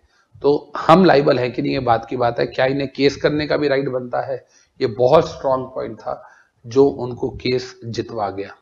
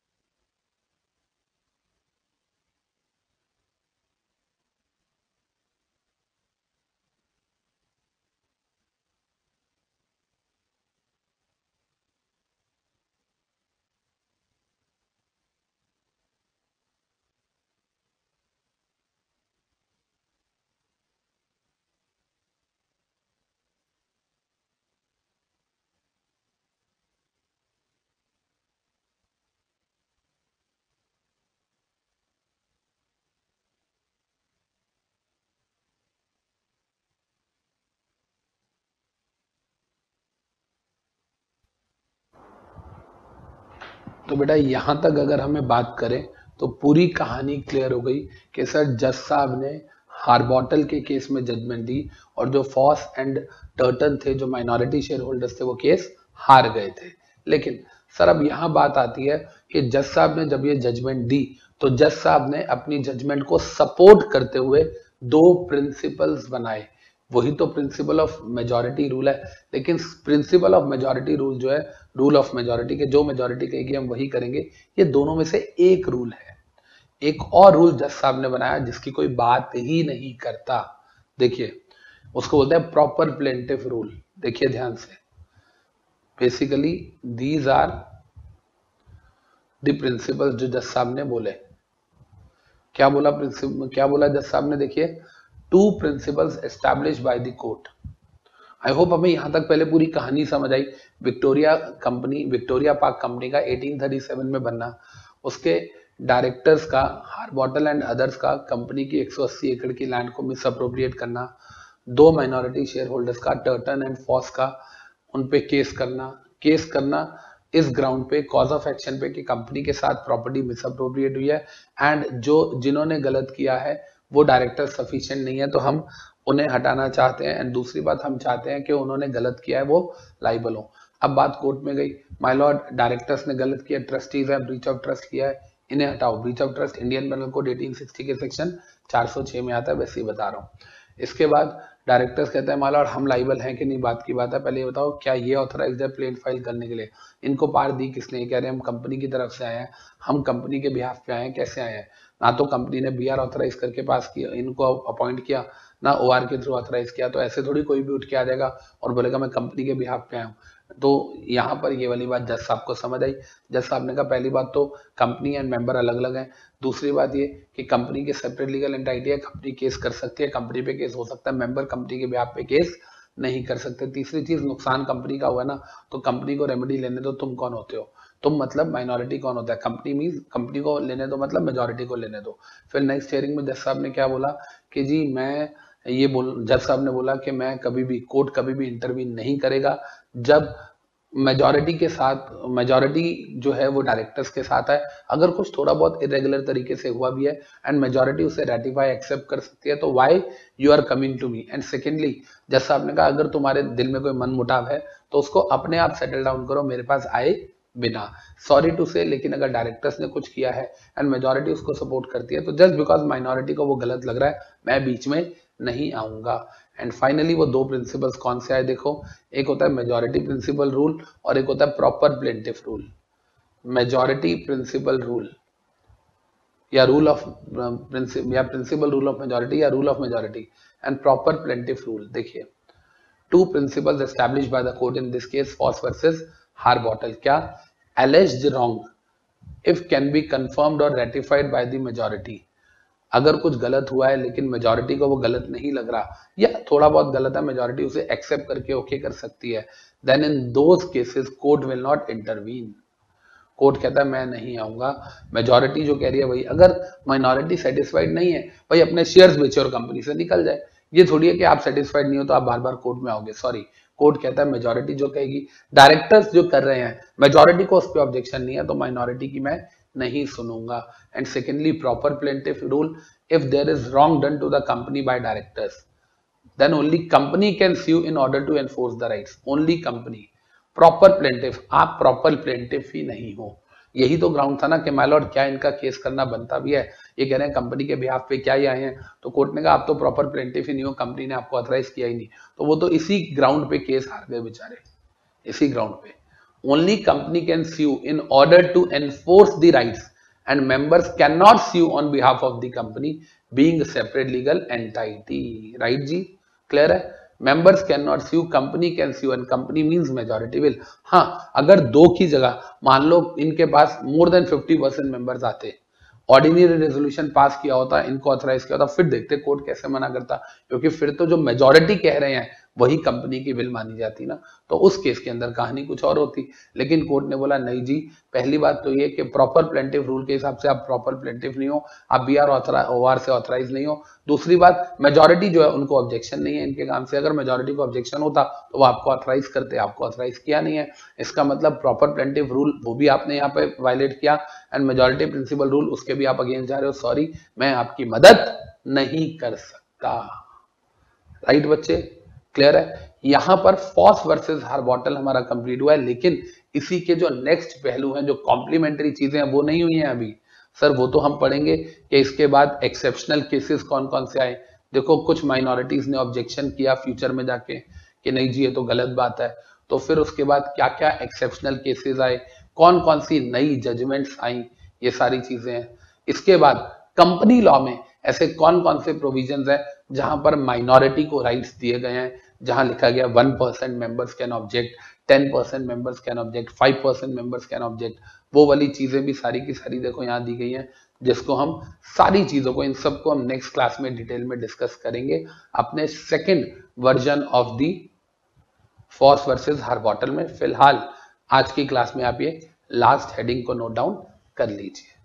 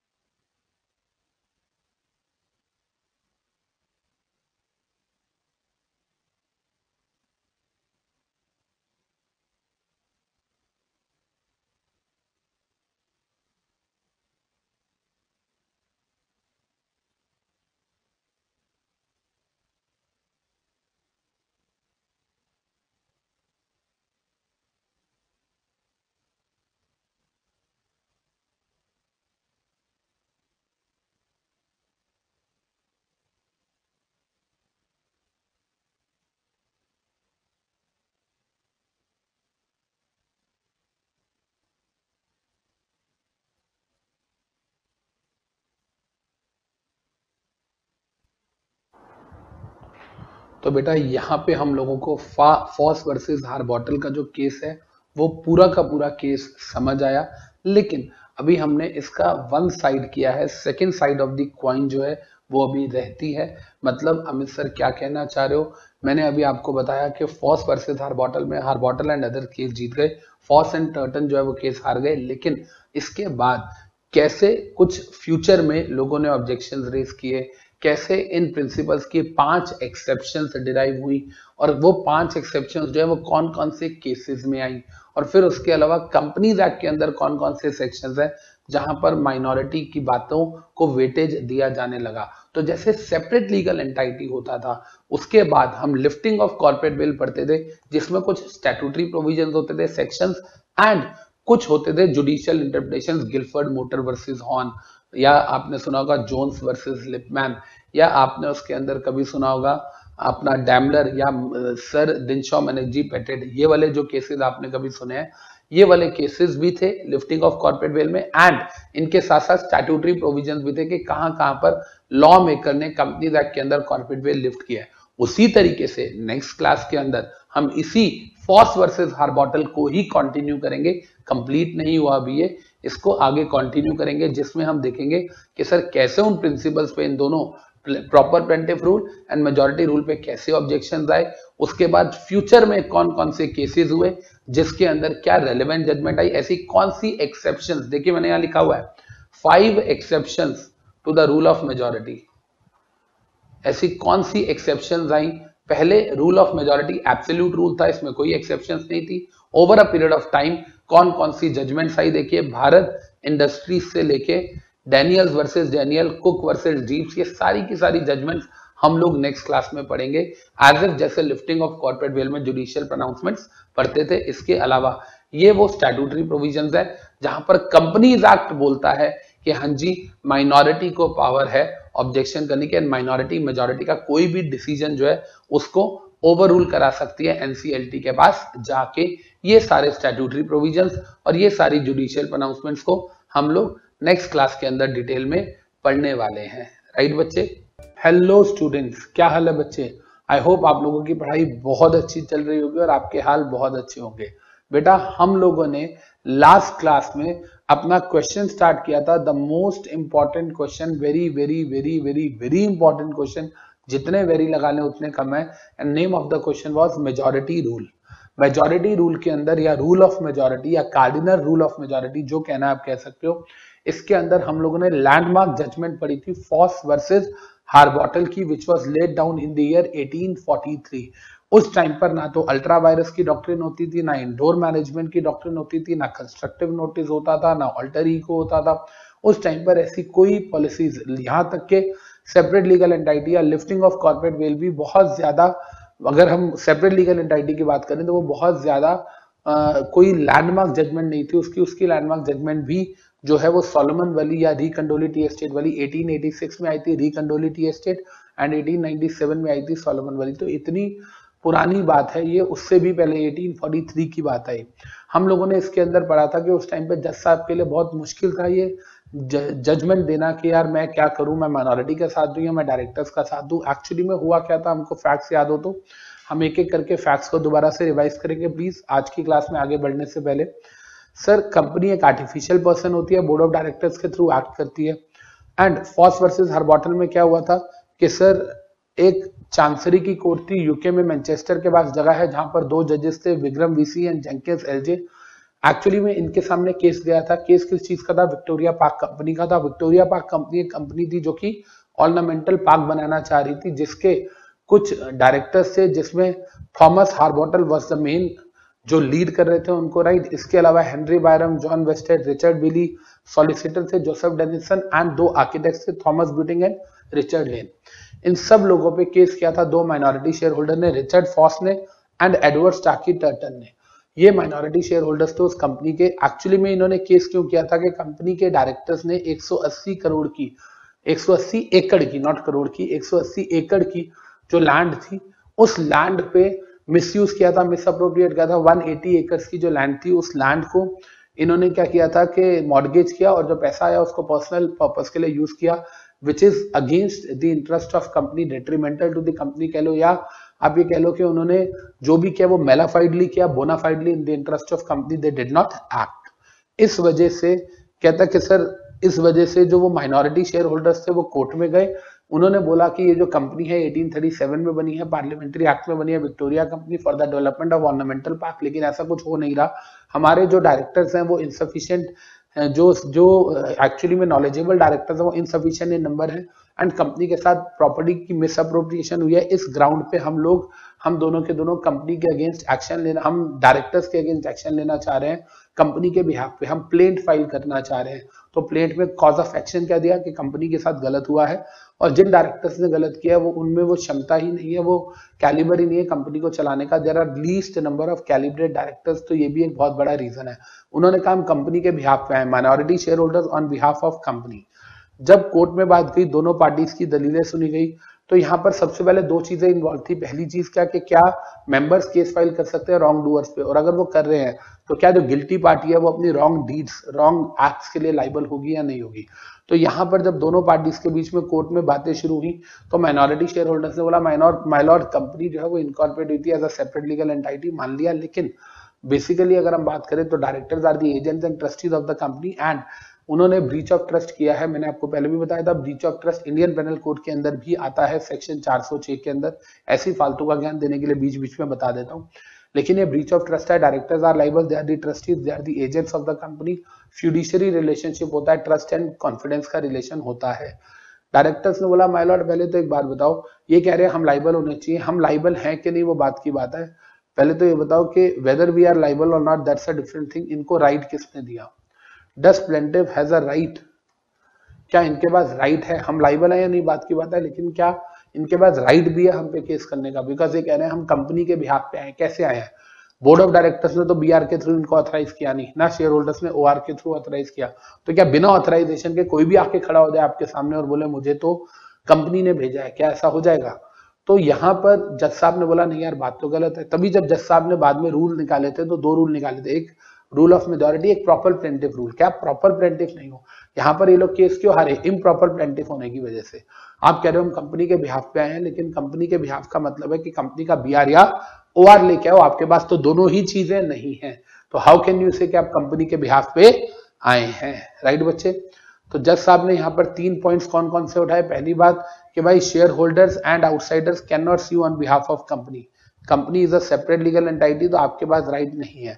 Company may be sued and sue on its own name तो therefore company has a right so company can sue only आप sue नहीं कर सकते the, the, the company is the one जिसको loss हुआ है company is the one जिसको injury हुई है तो therefore company is the one जिसको injury हुई है members को injury नहीं हुई तो company को आने दो company का मतलब क्या है majority members उनको कौन ऑथराइज करेंगे बी आर या ओ आर लेकिन आप माइनॉरिटी हो और माइनॉरिटी मीन्स आप दो मेंबर उठ के आ गए हो और आपके पास कोई ऑथराइजेशन लेटर नहीं है कि आप बाकी मेंबर्स के बिहार पे आए हो आप बाकियों को रिप्रेजेंट कर रहे हो इसका कोई प्रूफ नहीं है आपके पास, आप बीओडी को रिप्रेजेंट कर रहे हो इसका कोई एविडेंस नहीं है आपके पास।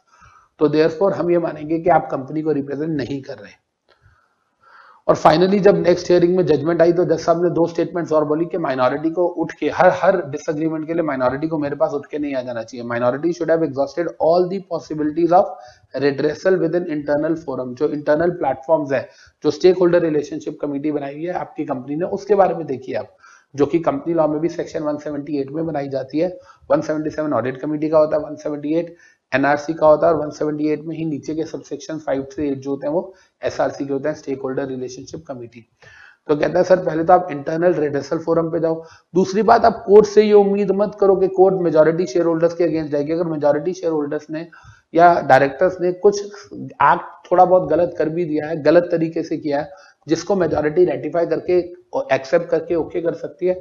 ऐसी छोटी मोटी गलतियों के लिए आप मेरे पास बताइए जज साहब ने कहा कि मैं दो प्रिंसिपल्स पे बिलीव करता हूँ। जज साहब ने उस केस में दो प्रिंसिपल्स दिए। पहला प्रॉपर प्लेंटिव रूल कि प्रॉपर प्लेंटिव जो है वही आएगा। उसके बिहार पे खाली दो लोग उठ के आ गए। और ये कहना कि हम कंपनी के बिहार पे आए ऐसा नहीं है। या तो आप मेजोरिटी के बिहार पे आओ मेजोरिटी का रिप्रेजेंटेशन लेके आओ। आप दिखाओ कि बाय ऑर्डिनरी रेजोल्यूशन उन्होंने आपको अपॉइंट किया।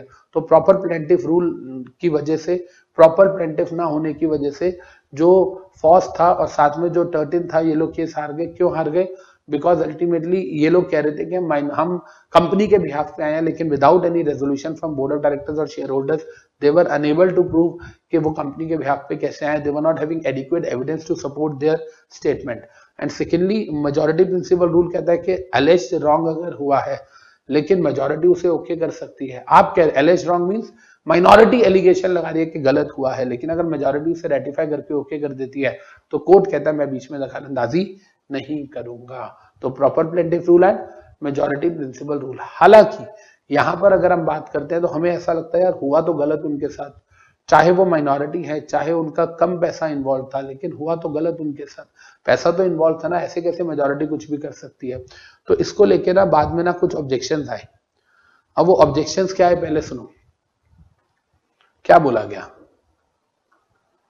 माइनॉरिटी ने कोर्ट के उन दो प्रिंसिपल्स पे ऑब्जेक्शन रेस किया। और क्या ऑब्जेक्शन रेस किया? कि हार्श एंड अनजस्ट है जो जज साहब ने दो प्रिंसिपल बोले हैं कि मैं तो मेजोरिटी रूल देखूँगा। और दूसरी बात ये कि मैं प्रॉपर प्लेंटिव रूल देखूँगा। मेरे को कोई मतलब नहीं है। अगर मेजोरिटी ओके है शेयर डायरेक्टर्स ने जो भी किया वो सही है, गलत है। अगर मेजोरिटी को एतराज़ नहीं है तो आप मेरे पास मत आओ। तो क्या ये तो बड़ी गलत है? एक तरफ़ से कंपनी लॉ कहता है बींग मेंबर हमारे पास राइट है। लेकिन राइट का करे क्या जब जज साहब उन राइट्स को एक्सरसाइज ही नहीं करने दे रहे हमारी बात ही सुनने को तैयार नहीं है। तो कहते हैं harsh and unjust on minority share holders language पढ़िएगा। ये जज साहब की ये एक्चुअली जो प्लेंट आई थी ना, उसके बाद जो जो माइनॉरिटी ने दोबारा एक प्लेंट फ़ाइल की राइट उसके बेसिस पे जजमेंट ये प्लेंट की लैंग्वेज है। Harsh and unjust on minority share holders ये प्रिंसिपल जो है, ये हार्श है अनजस्ट है as all substantive rights have been provided कहने के लिए हमें सब्सटेंटिव राइट्स दिए आपने। To them to them means to minor but still they were barred from obtaining justice आपने हमें राइट्स दिए हैं लेकिन उन राइट्स का फ़ायदा क्या है? अगर हम उससे जस्टिस न्याय नहीं ले पा रहे हैं उन्होंने गलत किया आप कह रहे हो हम तुम्हारी मदद नहीं करेंगे हम बीच में आएँगे नहीं। तो फिर हमें राइट टू सी क्यों दे रहे हो? हमें आपके पास आने का हक ही नहीं होना चाहिए अगर आप बीच में पढ़ोगे नहीं तो, तो ये जो right to knock at the door of judiciary है ना इसको हटा दो फिर। And has to submit to the wrong done अगर हमें घुटने टेकने हैं to the wrong done by the majority ऐसे राइट का क्या फ़ायदा जिसमें जज साहब हमें न्याय नहीं दिला सकते एंड हमें मेजोरिटी जिसने गलत काम किया है, गलत मेजोरिटी के सामने घुटने टेकने पड़ते हैं और जज साहब कहते हैं, मैं कुछ नहीं कर सकता। तो ऐसे हक का, ऐसे राइट्स का कोई फ़ायदा नहीं है। क्योंकि मेजोरिटी ने गलत किया as they were the one who controls the company क्योंकि मेजोरिटी के हाथ में कंट्रोल था, इसलिए उन्होंने गलत किया। And minority members have no say due to their small strength my lord ये जो आप प्रिंसिपल ऑफ़ मेजोरिटी बोल रहे हो ना rule of majority cardinal principle of majority गलत है।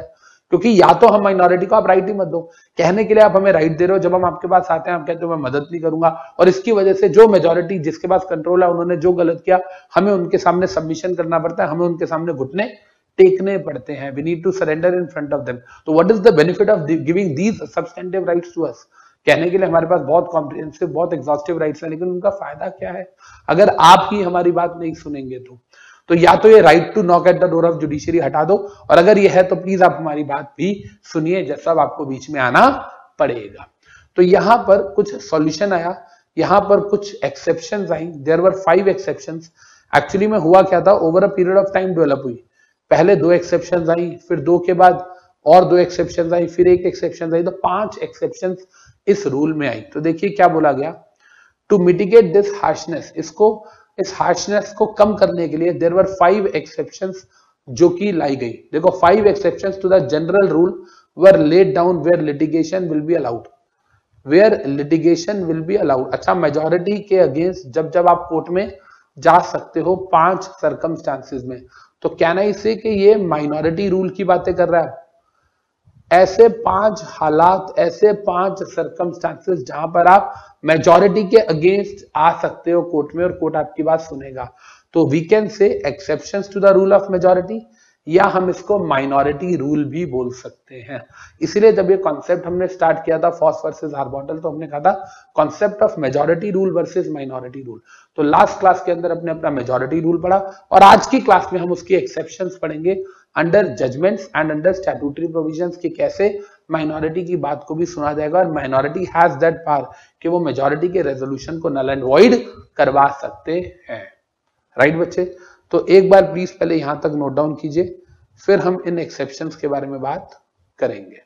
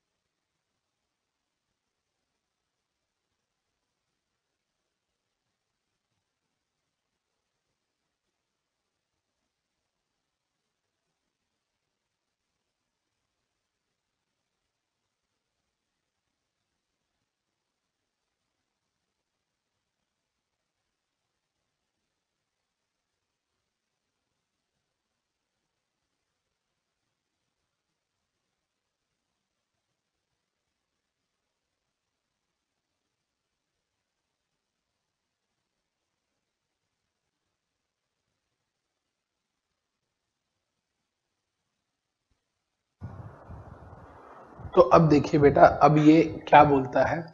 कहता है, सर, वो five exceptions to the rule of majority कौन सी हैं?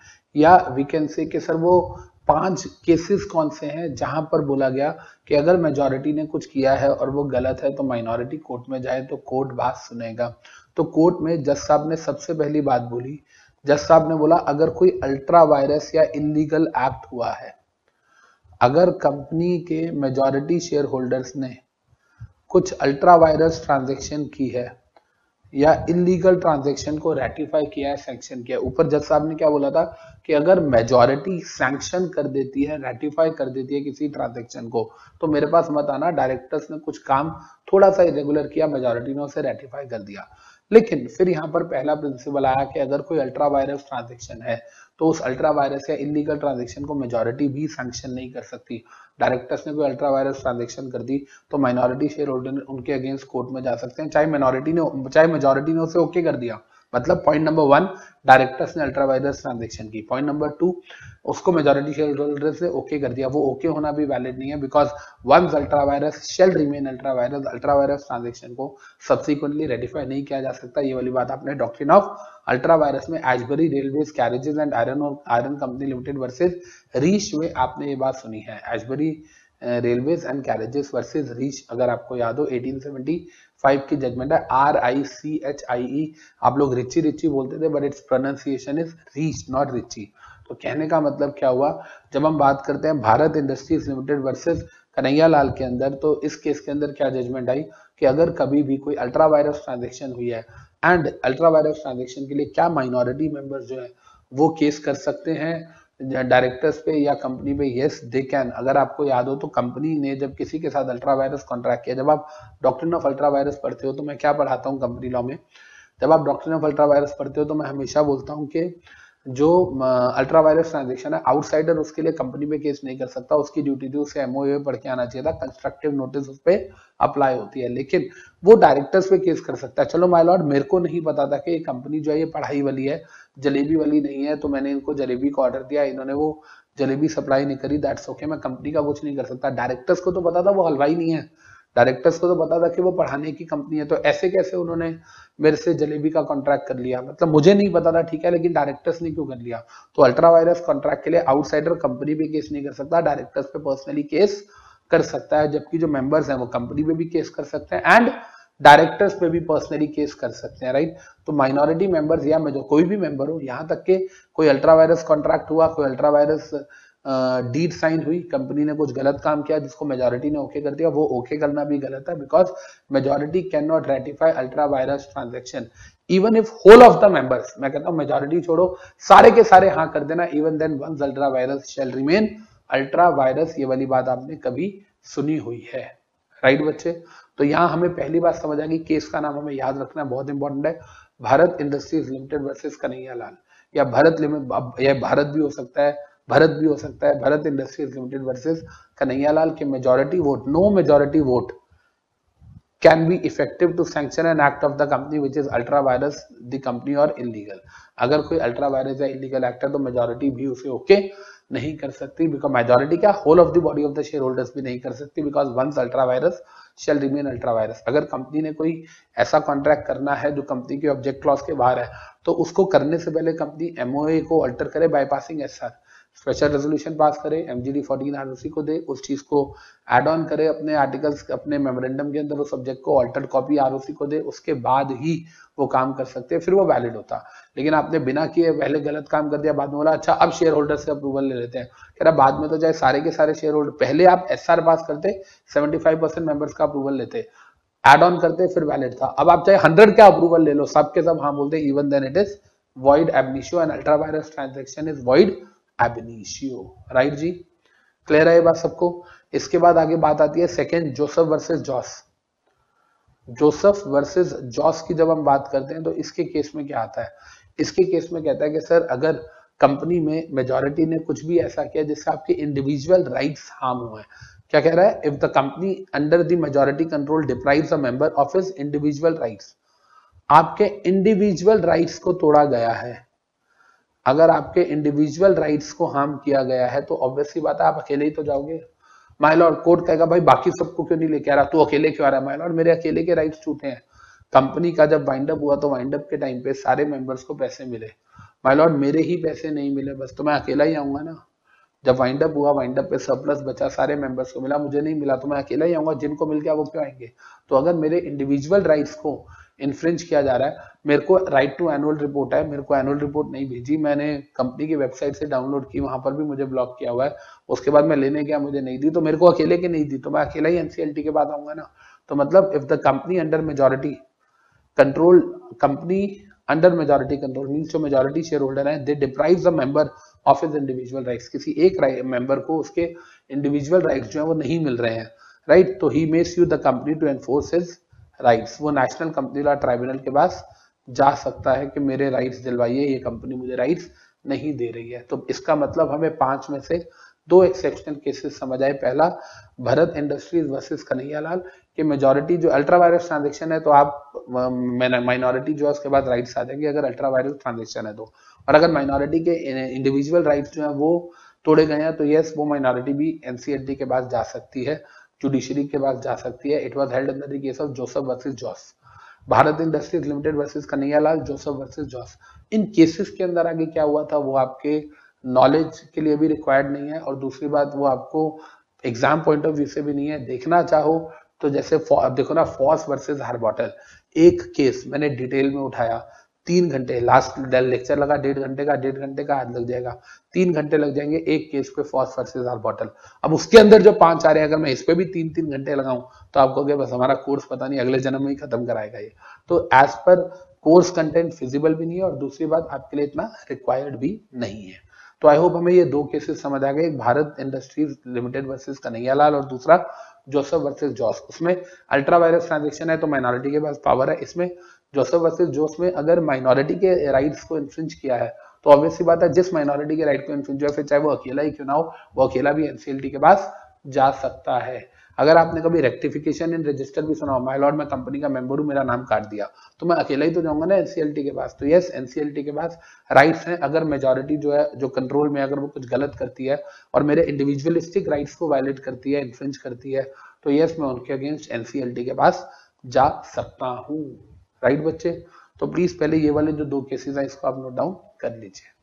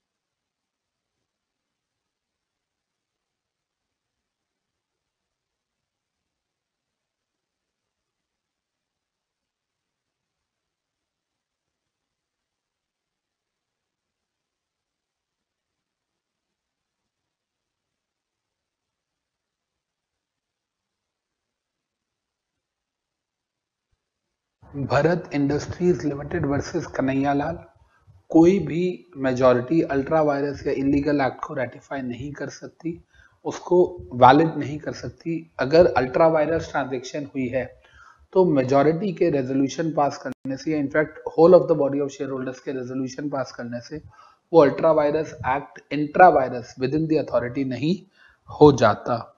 जोसेफ वर्सेस जॉस, अगर आप मेंबर हैं कंपनी के और मेजॉरिटी ने कोई ऐसा एक्शन लिया जिससे सिर्फ़ आपके राइट्स इन्फ्रिंज हो रहे हैं तो ऑब्वियस सी बात है कि आप अकेले ही जाएँगे और इसमें कोई हर्ज नहीं है एनसीएलटी आपकी पूरी मदद करेगा।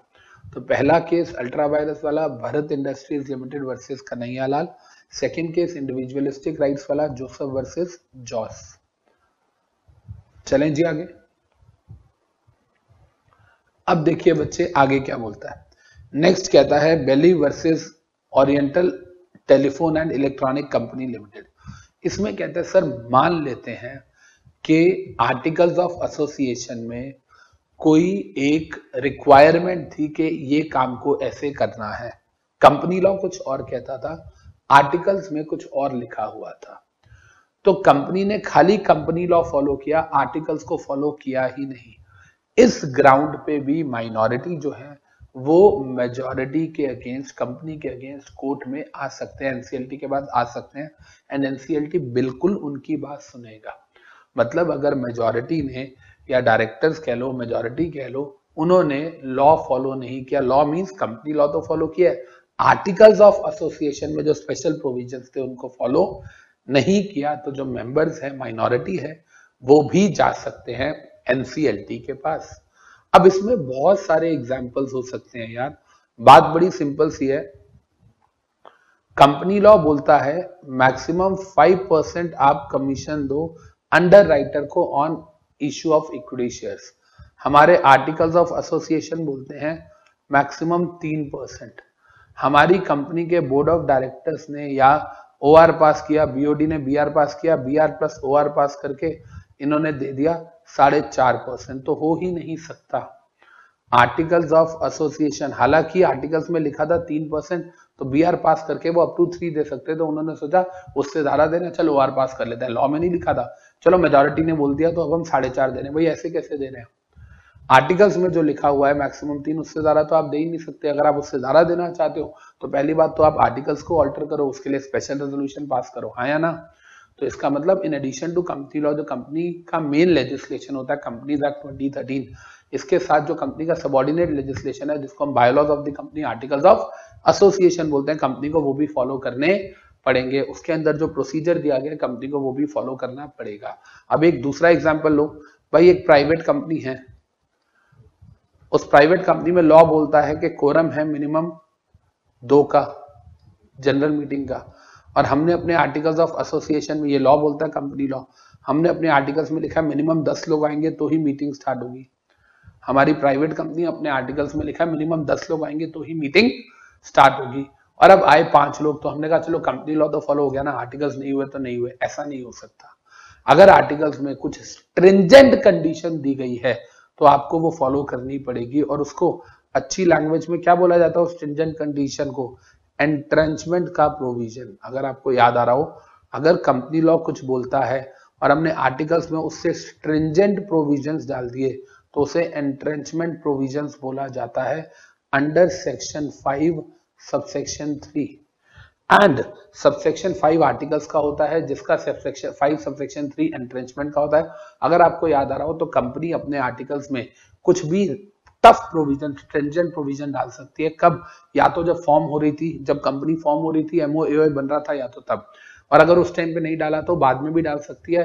पब्लिक कंपनी एसआर पास करके एड ऑन कर सकती है, कोई भी स्ट्रेंजेंट प्रोविज़न प्राइवेट कंपनी कर सकती है with the consent of all members present in meeting अगर आपको याद आ रहा हो तो जितने भी मेंबर्स हैं, सबकी कंसेंट लेके प्राइवेट कंपनी जो है वो एंट्रेंचमेंट कर सकती है। तो कहने का मतलब क्या हुआ? अगर हम यहाँ पर लॉ ये जजमेंट की लैंग्वेज पढ़ लें तो इफ़ द लॉ और the companies articles require a special procedure भाई लॉ में या कंपनी के आर्टिकल में एक स्पेशल प्रोसीजर बोला गया है किसी चीज़ का। जैसे मिनिमम दस लोग आएँगे, जैसे मैक्सिमम तीन परसेंट से ज़्यादा नहीं देंगे तो वो स्पेशल प्रोसीजर है स्पेशल लीगल रिक्वायरमेंट दी गई है। It shall be observed it shall be observe उसको फॉलो करना मैंडेटरी है।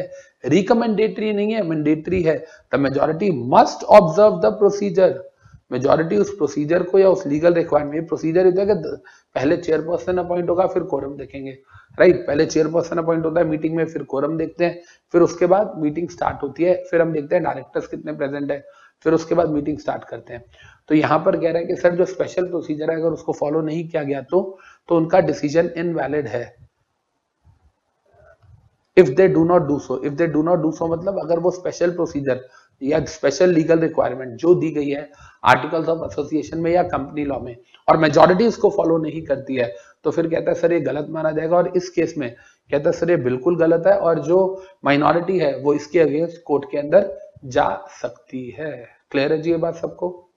डन तो Baillie versus Baillie versus Oriental Telephone and Electronic company limited इसके ऊपर कौन सा था? एक भरत वर्सेस कन्हैया लाल वाला, Bharat industries limited versus Kanhaiya Lal और इंडिविजुअलिस्टिक राइट्स वाला कौन सा था?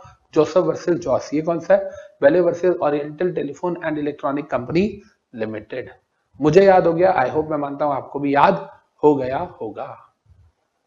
कर लो इसको नोट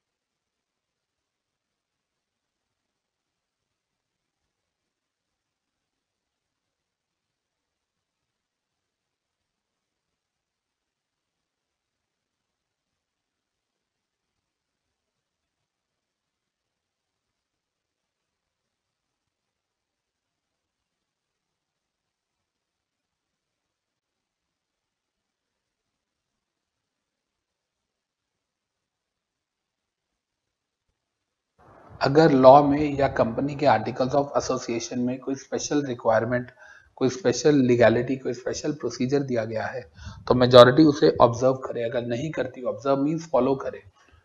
अगर उसे फॉलो नहीं करती है तो उस केस के अंदर जो डिसीज़न है वो इनवैलिड होगा और जो माइनॉरिटी है वो एनसीएलटी के पास जाके कंप्लेंट लॉन्च कर सकती है। चलें जी आगे। अब देखिए क्या कह रहा है। अब हम आते हैं नेक्स्ट केस पे डेनियल वर्सेस डेनियल इसके अंदर कहता है कि, सर, अगर डायरेक्टर्स ने और मेजॉरिटी ने ब्रीच ऑफ़ ड्यूटी किया है, अगर आपको पता हो तो if we talk about company law अगर हम कंपनी लॉ की बात करते हैं तो कंपनी एक्ट 2013 के अंदर सेक्शन 176 है, जो कि बात करता है ड्यूटीज़ ऑफ़ डायरेक्टर्स की.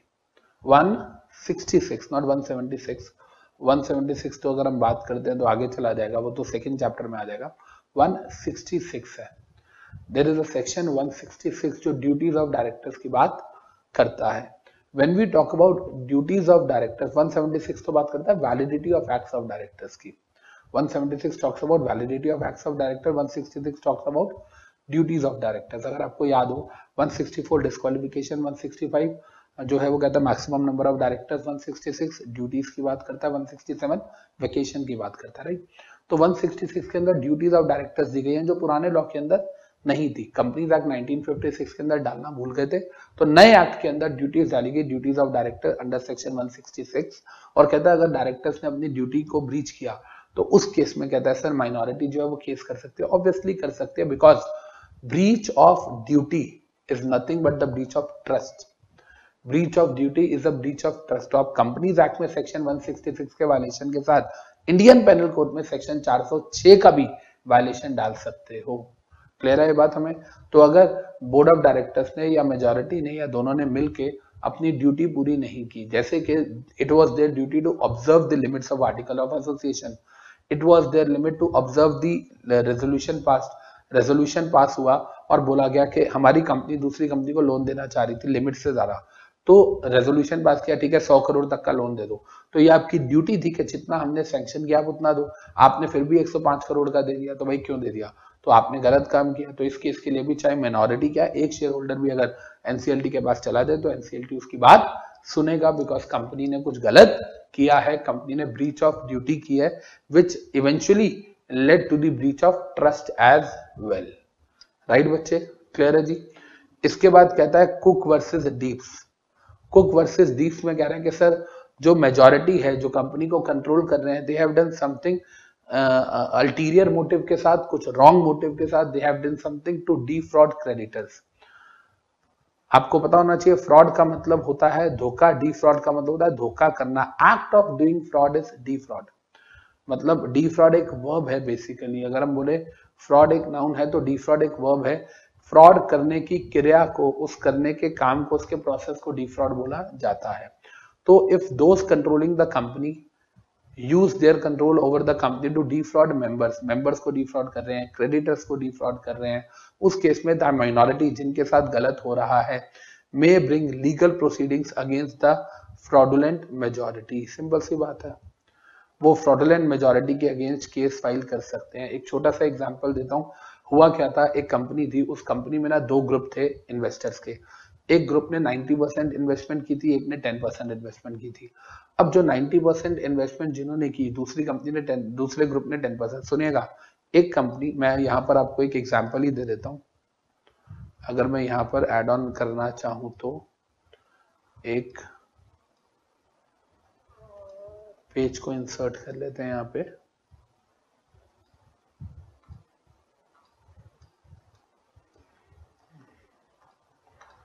सर, ये कंपनी। इस कंपनी ने ग्रुप वन की इन्वेस्टमेंट एंड ग्रुप टू की इन्वेस्टमेंट। ग्रुप वन जो है, इन्होंने 90 परसेंट इन्वेस्टमेंट की है। ग्रुप टू ने 10 परसेंट इन्वेस्ट किया है तो मतलब ये माइनॉरिटी शेयर होल्डर हो गए।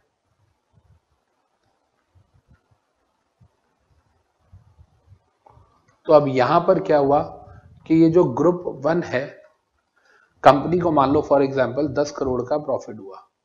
तो ये जो 10 करोड़ का प्रॉफिट हुआ, ये 10 करोड़ का प्रॉफिट नौ करोड़ इनको मिलना चाहिए और एक करोड़ इनको मिलना चाहिए as per in the form of dividend right लेकिन एक और अदर कंपनी है कंपनी टू है।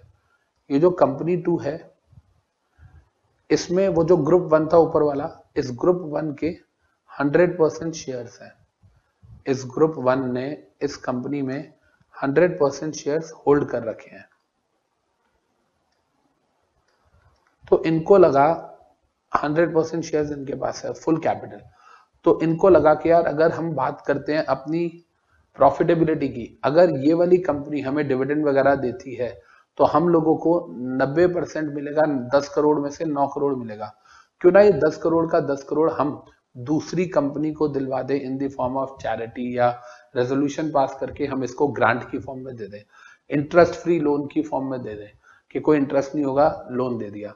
तो कहता सर, ये जो कंपनी है, ये जो कंपनी वन है, इसके इन्होंने क्या करा? इन्होंने एस पास किया ग्रुप वन क्योंकि मीटिंग बुलाई। मीटिंग में एसआर तो पास हो ही जाना था 90 परसेंट इनके, और एसआर पास करके वो वाला पैसा इनको दिलवा दिया। वो दस करोड़ रुपए इनके पास आ गए। अब माइनॉरिटी बेचारी शक्ल देख रही है। कि हमें एक करोड़ रुपया मिलेगा मिलेगा मिलेगा, उसका हम ये करेंगे, ऐसा कुछ हुआ ही नहीं। तो यहाँ पर इस एग्ज़ाम्पल के अंदर क्या हुआ देखिए, जो मेजोरिटी है, उन्होंने क्या किया? उन्होंने कुछ ऐसा किया जिससे मेंबर्स के साथ डिफ्रॉड हुआ। वो जो माइनॉरिटी थे, जिनको एक करोड़ रुपए का डिविडेंड मिलना चाहिए था, वो उनको नहीं मिला। तो कहता है minority may bring legal proceedings against the fraudulent majority तो यहाँ पर ये जो मेजोरिटी है, जिन्होंने रेजोल्यूशन पास किया, सिर्फ़ क्यों किया कि उनके शेयर भी हम खा जाएँ। उनका शेयर भी दूसरी कंपनी को दे दिया जाए, हम खा जाए, बाद में देखेंगे क्या करना है। तो ये गलत है। कहता है, यहाँ पर ये जो माइनॉरिटी है, इनके साथ ये ऑपरेसिव हुआ।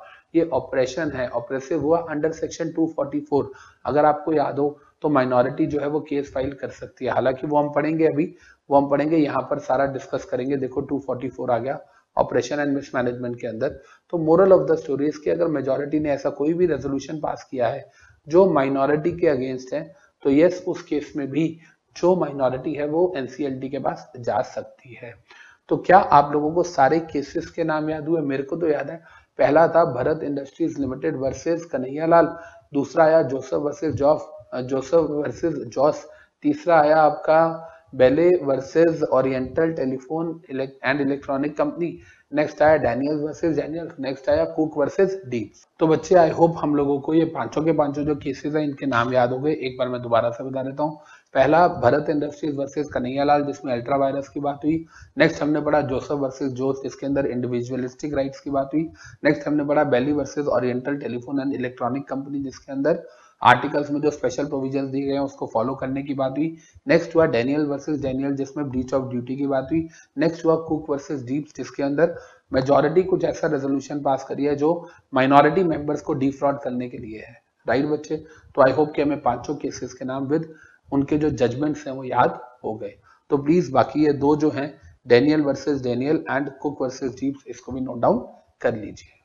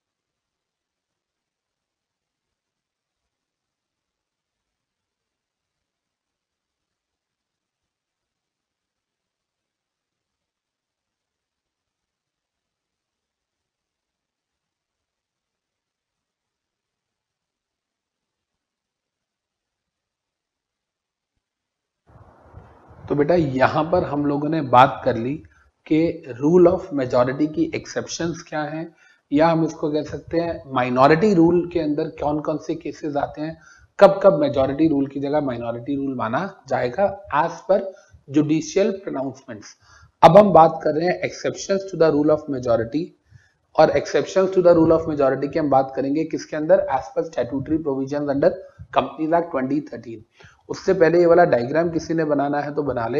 ये किससे रिलेटेड है?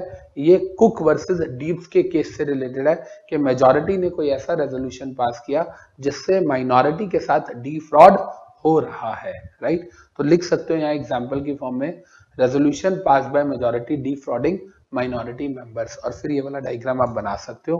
पॉइंट नंबर वन इनकी 90 परसेंट थे। पॉइंट नंबर टू इनके 10 परसेंट थे। पॉइंट नंबर थ्री दस करोड़ का प्रॉफिट हुआ। पॉइंट नंबर फोर इनको नौ करोड़ मिलना चाहिए था, इनको एक करोड़ मिलना चाहिए था। Point number six S pass किया।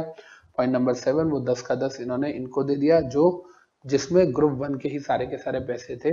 तो यहाँ पर इन्होंने रेजोल्यूशन पास किया, जो कि माइनॉरिटी के अगेंस्ट हो गया और माइनॉरिटी का पैसा अभी माइनॉरिटी को नहीं मिला, जिसके लिए वो लीगली एंटाइटल्ड थे। राइट बच्चे? कर लो इसको भी नोट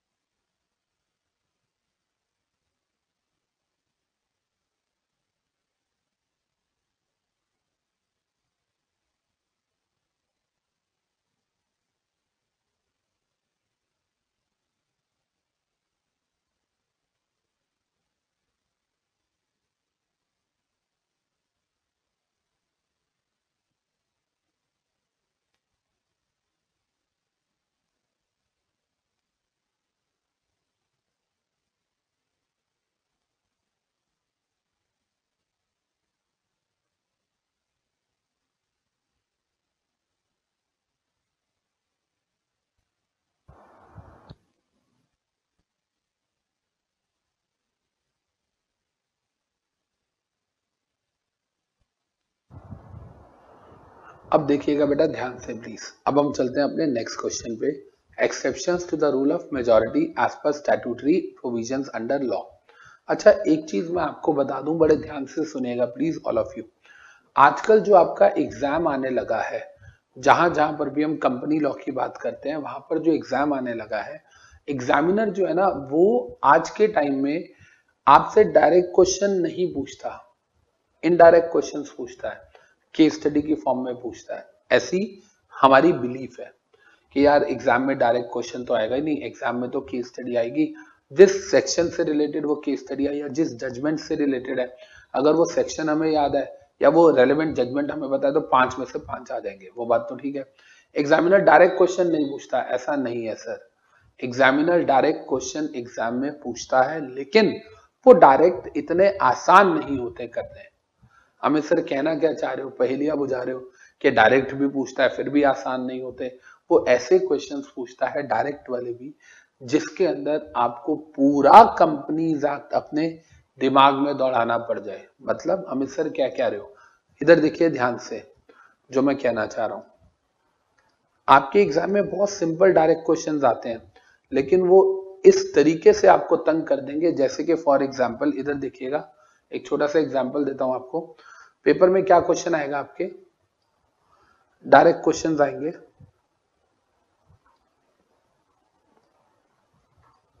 बोलेगा जी स्टेट एनी टेन आइटम्स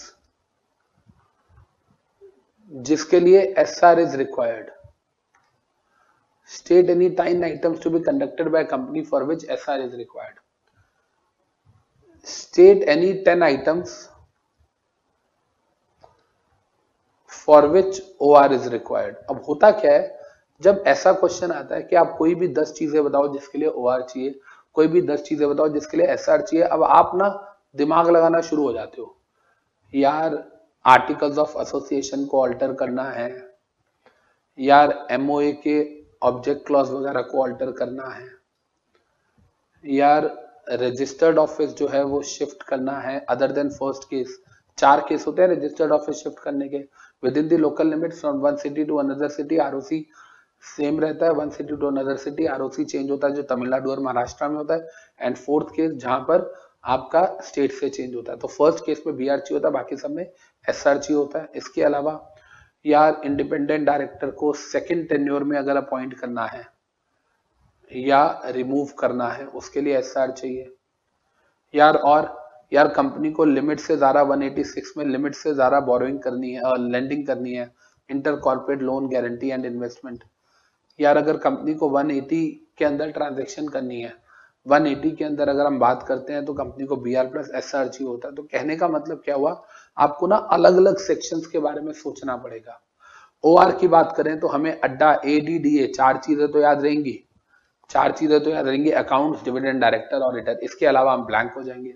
फिर हमें धीरे धीरे सोचना पड़ेगा, यार हमने ना हमने पढ़ा था कैपिटल क्लॉज ऑल्टर करने के लिए सेक्शन 61 में अगर कैपिटल क्लॉज ऑल्टर करना है तो उसके लिए भी ओ आर चाहिए होता है।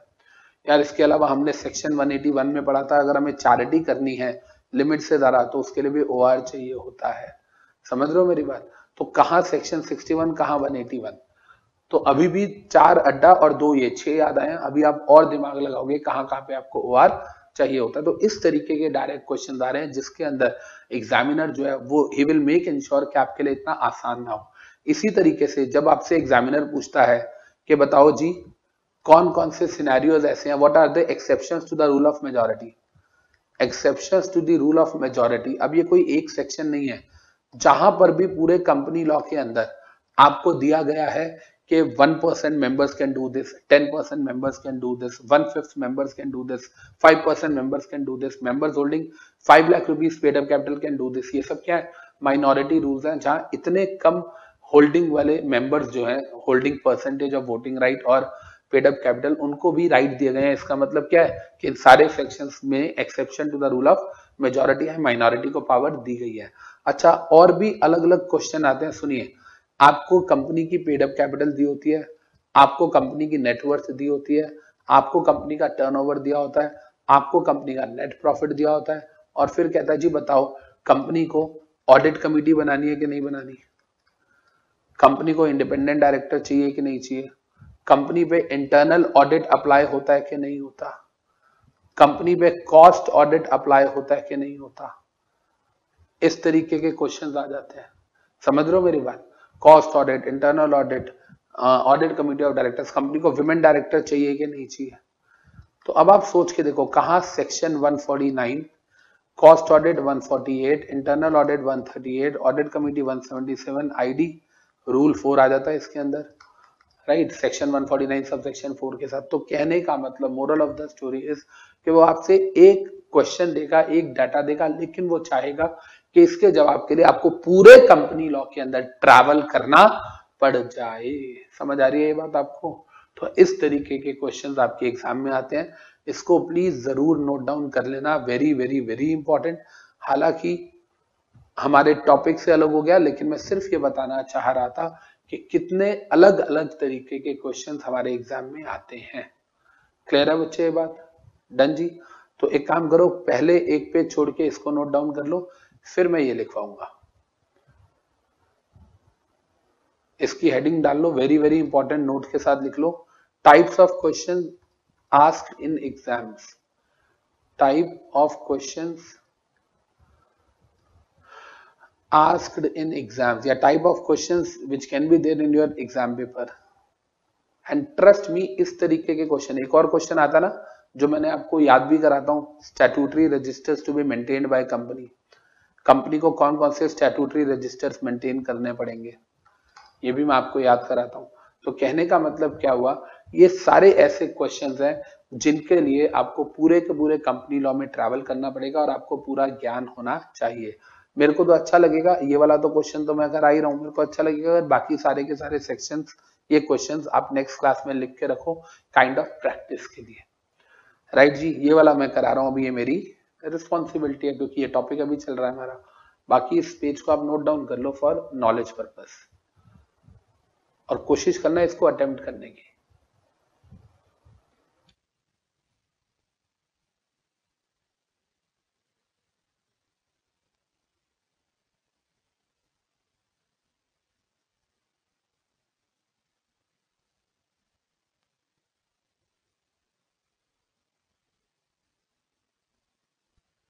स्टैटूटरी रजिस्टर जब हम पढ़ते हैं रजिस्टर एंड रिटर्न चैप्टर में तो कुछ याद आता है सेक्शन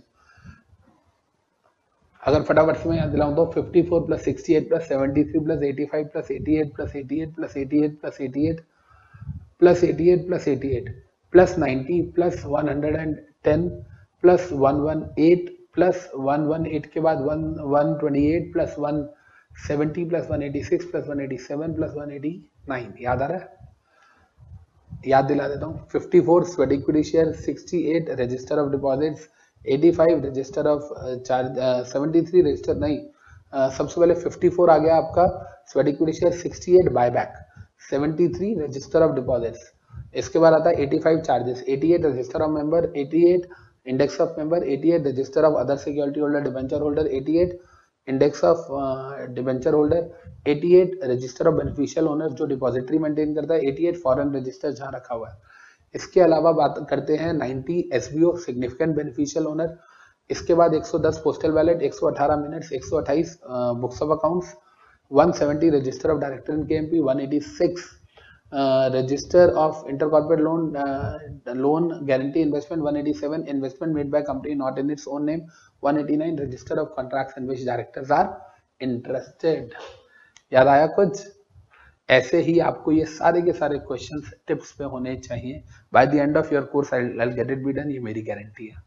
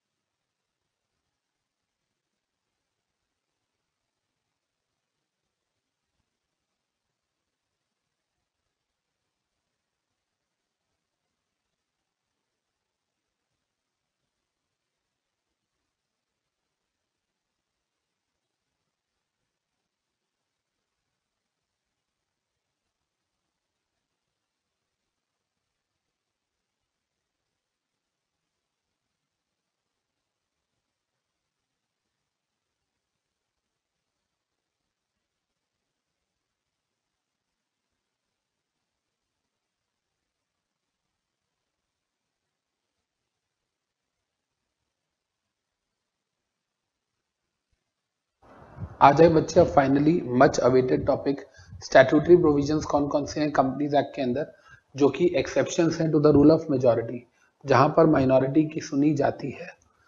ध्यान से समझिएगा, अगर आपको ये सब सेक्शन याद आ रहे हो, जिसको याद है, उसके लिए तो ये एक मिनट का काम है, और जिसको याद नहीं है, उसके लिए एक दिन भी लग जाएगा। ध्यान से सुनिए, हम लोगों ने कभी पढ़ा था सेक्शन 48 सेक्शन 48 बात करता था variation in rights of members की। Variation in rights of members के अगर कभी भी एक पर्टिकुलर क्लास ऑफ़ मेंबर्स के राइट्स अगर वेरिएट करने हैं तो कर सकते हैं। उसके लिए आर्टिकल्स ऑफ़ एसोसिएशन में लिखा होना चाहिए। एंड स्पेशल रेजोल्यूशन पास करें या three fourth of the issued share capital का अप्रूवल लें। ये डीवीआर की बात नहीं कर रहा हूँ मैं। डीवीआर तो इंस्ट्रूमेंट ही अलग होती है। पता ना हमें? DVR is differential voting rights आपके अलग इंस्ट्रूमेंट है इक्विटी शेयर डीवीआर अलग है राइट्स अलग होते हैं। यहाँ पर क्या है? दोनों की सेम इंस्ट्रूमेंट है, लेकिन सेम इंस्ट्रूमेंट होने के बावजूद भी। अब हम एक मेंबर के या एक क्लास ऑफ़ मेंबर एक जो पर्टिकुलर मेंबर हैं, उन, कुछ ग्रुप के राइट्स बढ़ाना चाह रहे हैं तो उस पर्टिकुलर क्लास मान लो इक्विटी शेयर्स हैं खाली। उन इक्विटी शेयर्स में हम चाहते हैं कि इक्विटी शेयर होल्डर है, सौ, लेकिन इन दस इक्विटी शेयर होल्डर्स के राइट्स बढ़ जाए। तो जितने पर्टिकुलर क्लास वो जो इक्विटी शेयर्स है, सौ के सौ, उसमें से अगर three fourth of the issued share capital हाँ बोलेंगे तो राइट्स वेरिएट हो जाएँगे। अब मान लो थ्री फोर्थ ने हाँ बोल दिया। सौ में से मान लो फॉर एग्ज़ाम्पल सेवेंटी फाइव ने हाँ बोल दिया, पच्चीस तो रोते रह गए। क्योंकि 75 ने हाँ बोल दिया एस पास हो गया तो डन हो गया। वो जो रोते रह गए, क्या उनके पास कोई पावर है? यस अगर one tenth of the issued share capital जिन्होंने कंसेंट नहीं दी थी, जिन्होंने मना किया था, अगर वो 21 डेज़ ऑफ़ दी वेरिएशन के अंदर एनसीएलटी के पास चले जाते हैं और एनसीएलटी को सेटिस्फाई कर देते हैं तो एनसीएलटी उस वेरिएशन को नल एंड वॉइड कर देगा कैंसिल कर देगा। तो क्या ना से वेरिएशन करने के लिए थ्री फोर्थ का अप्रूवल वेरिएशन को कैंसिल करने के लिए वन टेंथ का तो इस वन टेंथ ने मतलब टेन परसेंट ने उस थ्री फोर्थ मतलब सेवेंटी फाइव परसेंट के रेजोल्यूशन पे पानी फेर दिया। तो यहाँ पता चलता है कि मेजोरिटी की नहीं चल रही, यहाँ पर माइनॉरिटी का बोलबाला है, यहाँ पर माइनॉरिटी को राइट दिया गया है राइट बच्चे? तो one tenth of the issued share holders जो है इशूड कैपिटल शेयर होल्डर्स जो है रिक्वेस्ट करते हैं within twenty one days for cancellation of variation in rights of members to NCLT तो यहाँ मैं सेक्शन 48 पूरा नहीं पढ़ाऊँगा, लिखवाते हुए, बताया मैंने, ज़रूर है पूरा, लेकिन यहाँ पर मैं तो सिर्फ़ ये बताऊँगा ना कि इतने परसेंट लोग जाएँगे तो कैंसिल करा सकते हैं variation in rights of members को। इसके अलावा अगर हम बात करते हैं सेक्शन 100 जो ईजीएम e की बात करता है, हम सबको पता है कि सर अगर मेंबर्स चाहें तो ईजीएम e बुला सकते हैं। याद ईजीएम के 100 सेक्शन के चार पॉइंट्स होते हैं। पहला board of directors can call EGM दूसरा board of directors on receiving requisition can call EGM तीसरा members themselves can call EGM right अगर बीओडी उनकी रिक्वेस्ट पे 45 डेज़ में नहीं करते तो नेक्स्ट 45 डेज़ में मेंबर्स अपने आप करते हैं। एंड इसके बाद चौथा आता है by NCLT right national company law tribunal भी ईजीएम करने के लिए बोल सकती है, जिसमें वन पर्सन भी वैलिड कोरम माना जाता है एंड एनसीएलटी जो है वो खुद चेयरपर्सन भी अपॉइंट कर सकती है। तो कहता है, सर, अगर अगर गारंटी वाली कंपनी है तो one tenth of the voting power और अगर शेयर कैपिटल वाली कंपनी है तो members holding one tenth of the paid up capital BOD को रिक्वेस्ट करते हैं ईजीएम e करने के लिए। तो सोच के देखो वन टेंथ मेंबर बोल रहे हैं। खाली वन टेंथ बोल रहे हैं तो भी आपको ईजीएम e करनी पड़ेगी। तो यहाँ भी किसको पावर दी जा रही है? माइनॉरिटी को पावर दी जा रही है। इसके अलावा कहता है, सर सेक्शन 109 सेक्शन 109 की जब हम बात करते हैं तो ये बाय पोल की बात करता है। वोटिंग बाय पोल अगर आपको याद हो अब पता नहीं, आपको सेक्शन याद है कि नहीं? सारे सेक्शन टिप्स को होने चाहिए। Section 96 AGM section 97 NCLT to call AGM section 98 NCLT to call AGM section 99 penalty 100 EGM 101 notice 102 explanatory statement 103 आपका quorum 104 chairperson 105 proxy 106 restriction on voting rights 107 voting by show of hands 108 e-voting, electronic voting, remote e-voting 109 poll. 110 postal ballot triple one circulation of members resolution 112 113 representative पहला government वाला दूसरा corporate वाला 114 OR SR 115 resolution requiring special notice 116 adjourn meeting में resolution 117 एमजीडी 14 ROC को जाएगा registration of agreements and resolution with ROC 118 minutes 119 inspection of minutes 120 हमारे electronic records 121 अगर हम बात करते हैं तो रिपोर्ट ऑन एजीएम जो एमजीडी 15 में जाती है 122 applicability of this chapter to OPC one percent company तो इस तरीके से आपको सारे सेक्शन याद होने चाहिए। मज़ा तो तभी है ना यार। तो सेक्शन 109 क्या बोलता था? वोटिंग बाय पोल पोल के लिए कौन बोल सकते हैं? अगर गारंटी वाली कंपनी है तो members holding one tenth of the voting power बोल सकते हैं। Members holding one tenth of the voting power और अगर शेयर कैपिटल वाली कंपनी है तो member holding one tenth of the voting power या उतने मेंबर्स जिनकी कैपिटल पेड अप कैपिटल पाँच लाख रुपए है। जिनकी कैपिटल पाँच लाख रुपए है, चाहे मेरी अकेले की पाँच लाख रुपए और मैं बोलता हूँ, मेरी मेरी paid capital five lakh rupees और मैं बोलता हूँ कि, सर, ऐसा है वोटिंग बाय पोल करो। और आपको याद होगा वोट बाय पोल की जो डिमांड है it can be made any day time before show of hands और आफ्टर शो ऑफ़ हैंड बिना शो ऑफ़ हैंड्स के सीधा बोल दूँ बाय पोल करो. या मैं शो ऑफ़ हैंड्स हो गया सेटिस्फाइड नहीं अब मैं बोल रहा हूँ बाय पोल करो। हो सकता है, दोनों ही केसेस में बैलेट पेपर होता है। बैलेट पेपर आपको पता होगा, हमारे सामने पेपर आता है, जो एमजीटी ट्वेल्व में होता है फॉर्मेट में। और फिर हम उसमें बैलेट पेपर को बंद बॉक्स में डालते हैं हाँ ना लिख के, फिर स्क्रूटिनाइजर उसको खोलता है स्क्रूटिनाइजर रिपोर्ट देता है, जो अपनी रिपोर्ट देता है वो एमजीटी थर्टीन में होती है। ये सारी चीज़ें आपको याद होनी चाहिए। क्लियर है जी? तो अभी हमने कितने सेक्शन पढ़ लिए? तीन फोर्टी एट हंड्रेड एंड 109 48 में one tenth of the issued share capital 100 में one tenth of the holders of voting power या पेड अप कैपिटल 109 में। 109 के अंदर आ गया आपका गारंटी कंपनी में one tenth of the voting power share capital में one tenth of the voting power या पाँच लाख रुपए in aggregate right section 115 section 115 क्या बोलता था? Resolution requiring special notice section 115 बात करता है रेजोल्यूशन रिक्वायरिंग स्पेशल नोटिस की। सर, ये क्या बोलता है रेजोल्यूशन रिक्वायरिंग स्पेशल नोटिस में? आपको अगर याद हो कंपनी ने ऑडिटर को रिमूव करना है कंपनी ने डायरेक्टर को रिमूव करना है तो उसके लिए क्या कंपनी मतलब मेंबर्स ने। तो उसके लिए क्या होता था? एजीएम से कम से कम चौदह दिन पहले और ज़्यादा से ज़्यादा तीन महीने पहले, कम से कम एजीएम से चौदह दिन पहले, ज़्यादा से ज़्यादा तीन महीने पहले member holding one percent of the voting power या उतने होल्डर्स जिनकी five lakh rupees paid up capital हो। Member holding one percent of the voting power या उतने जिनकी five lakh rupees paid up capital हो, वो मेंबर कंपनी को बोलेंगे कितने दिन पहले? वो मेंबर्स कंपनी को बोलेंगे कम से कम चौदह दिन पहले, ज़्यादा से ज़्यादा तीन महीने पहले। और फिर कंपनी क्या करेगी? सारे मेंबर्स को कम से कम सेवन डेज़ पहले बताएगी कि मीटिंग में ये वाला रेजोल्यूशन भी पास होने वाला है। कि भाई मेंबर्स चाह रहे हैं कि नया ऑडिटर अपॉइंट हो, इसकी जगह दूसरा वाला डायरेक्टर अपॉइंट हो, इसको हटा दिया जाए। तो इस केस के अंदर अगर हम बात करते हैं तो वो जिसको हटाया जा रहा है, जिस ऑडिटर या डायरेक्टर को हटाया जा रहा है, उसे रिप्रेजेंटेशन देने का भी राइट है। और जब कंपनी सेवन डेज़ पहले सारे मेंबर्स को नोटिस भेजेगी, उसके साथ रिप्रेजेंटेशन भी भेजेगी उस बंदे की जो ऑडिटर या या डायरेक्टर रिमूव हो रहा है। और अगर उसकी जो रिप्रेजेंटेशन है, वो लगता है कि यार ये तो कंपनी को डिफेम करने के लिए है तो फिर कंपनी एनसीएलटी से एग्जामेशन ले सकते हैं कि हम इसकी बात को सर्कुलेट नहीं करेंगे। और अगर वो एग्जामेशन नहीं मिलती तो फिर तो आपको सर्कुलेट भी करना पड़ेगा। साथ में जनरल मीटिंग में जब मेंबर्स आएँगे तो उनके सामने उसको रीड आउट भी करना पड़ेगा। याद आ रही है बात? इसको हमने कहा पढ़ा था? इसको हमने 115 में भी पढ़ा। उसके बाद हमने इसको ऑडिटर चैप्टर में रिमूवल में भी पढ़ा फिर डायरेक्टर चैप्टर में रिमूवल में भी हम इसको पढ़ते हैं। तो अब समझ आ रहा है मैं क्यों बोलता हूँ कि companies act all together related है। राइट बच्चे? ठीक है जी? तो प्लीज़ अभी हमने ये चार सेक्शन पढ़े 48, 100, 109 एंड 115 पहले इन चारों को नोट कर लो फिर बाकी चार के बारे में बात करेंगे।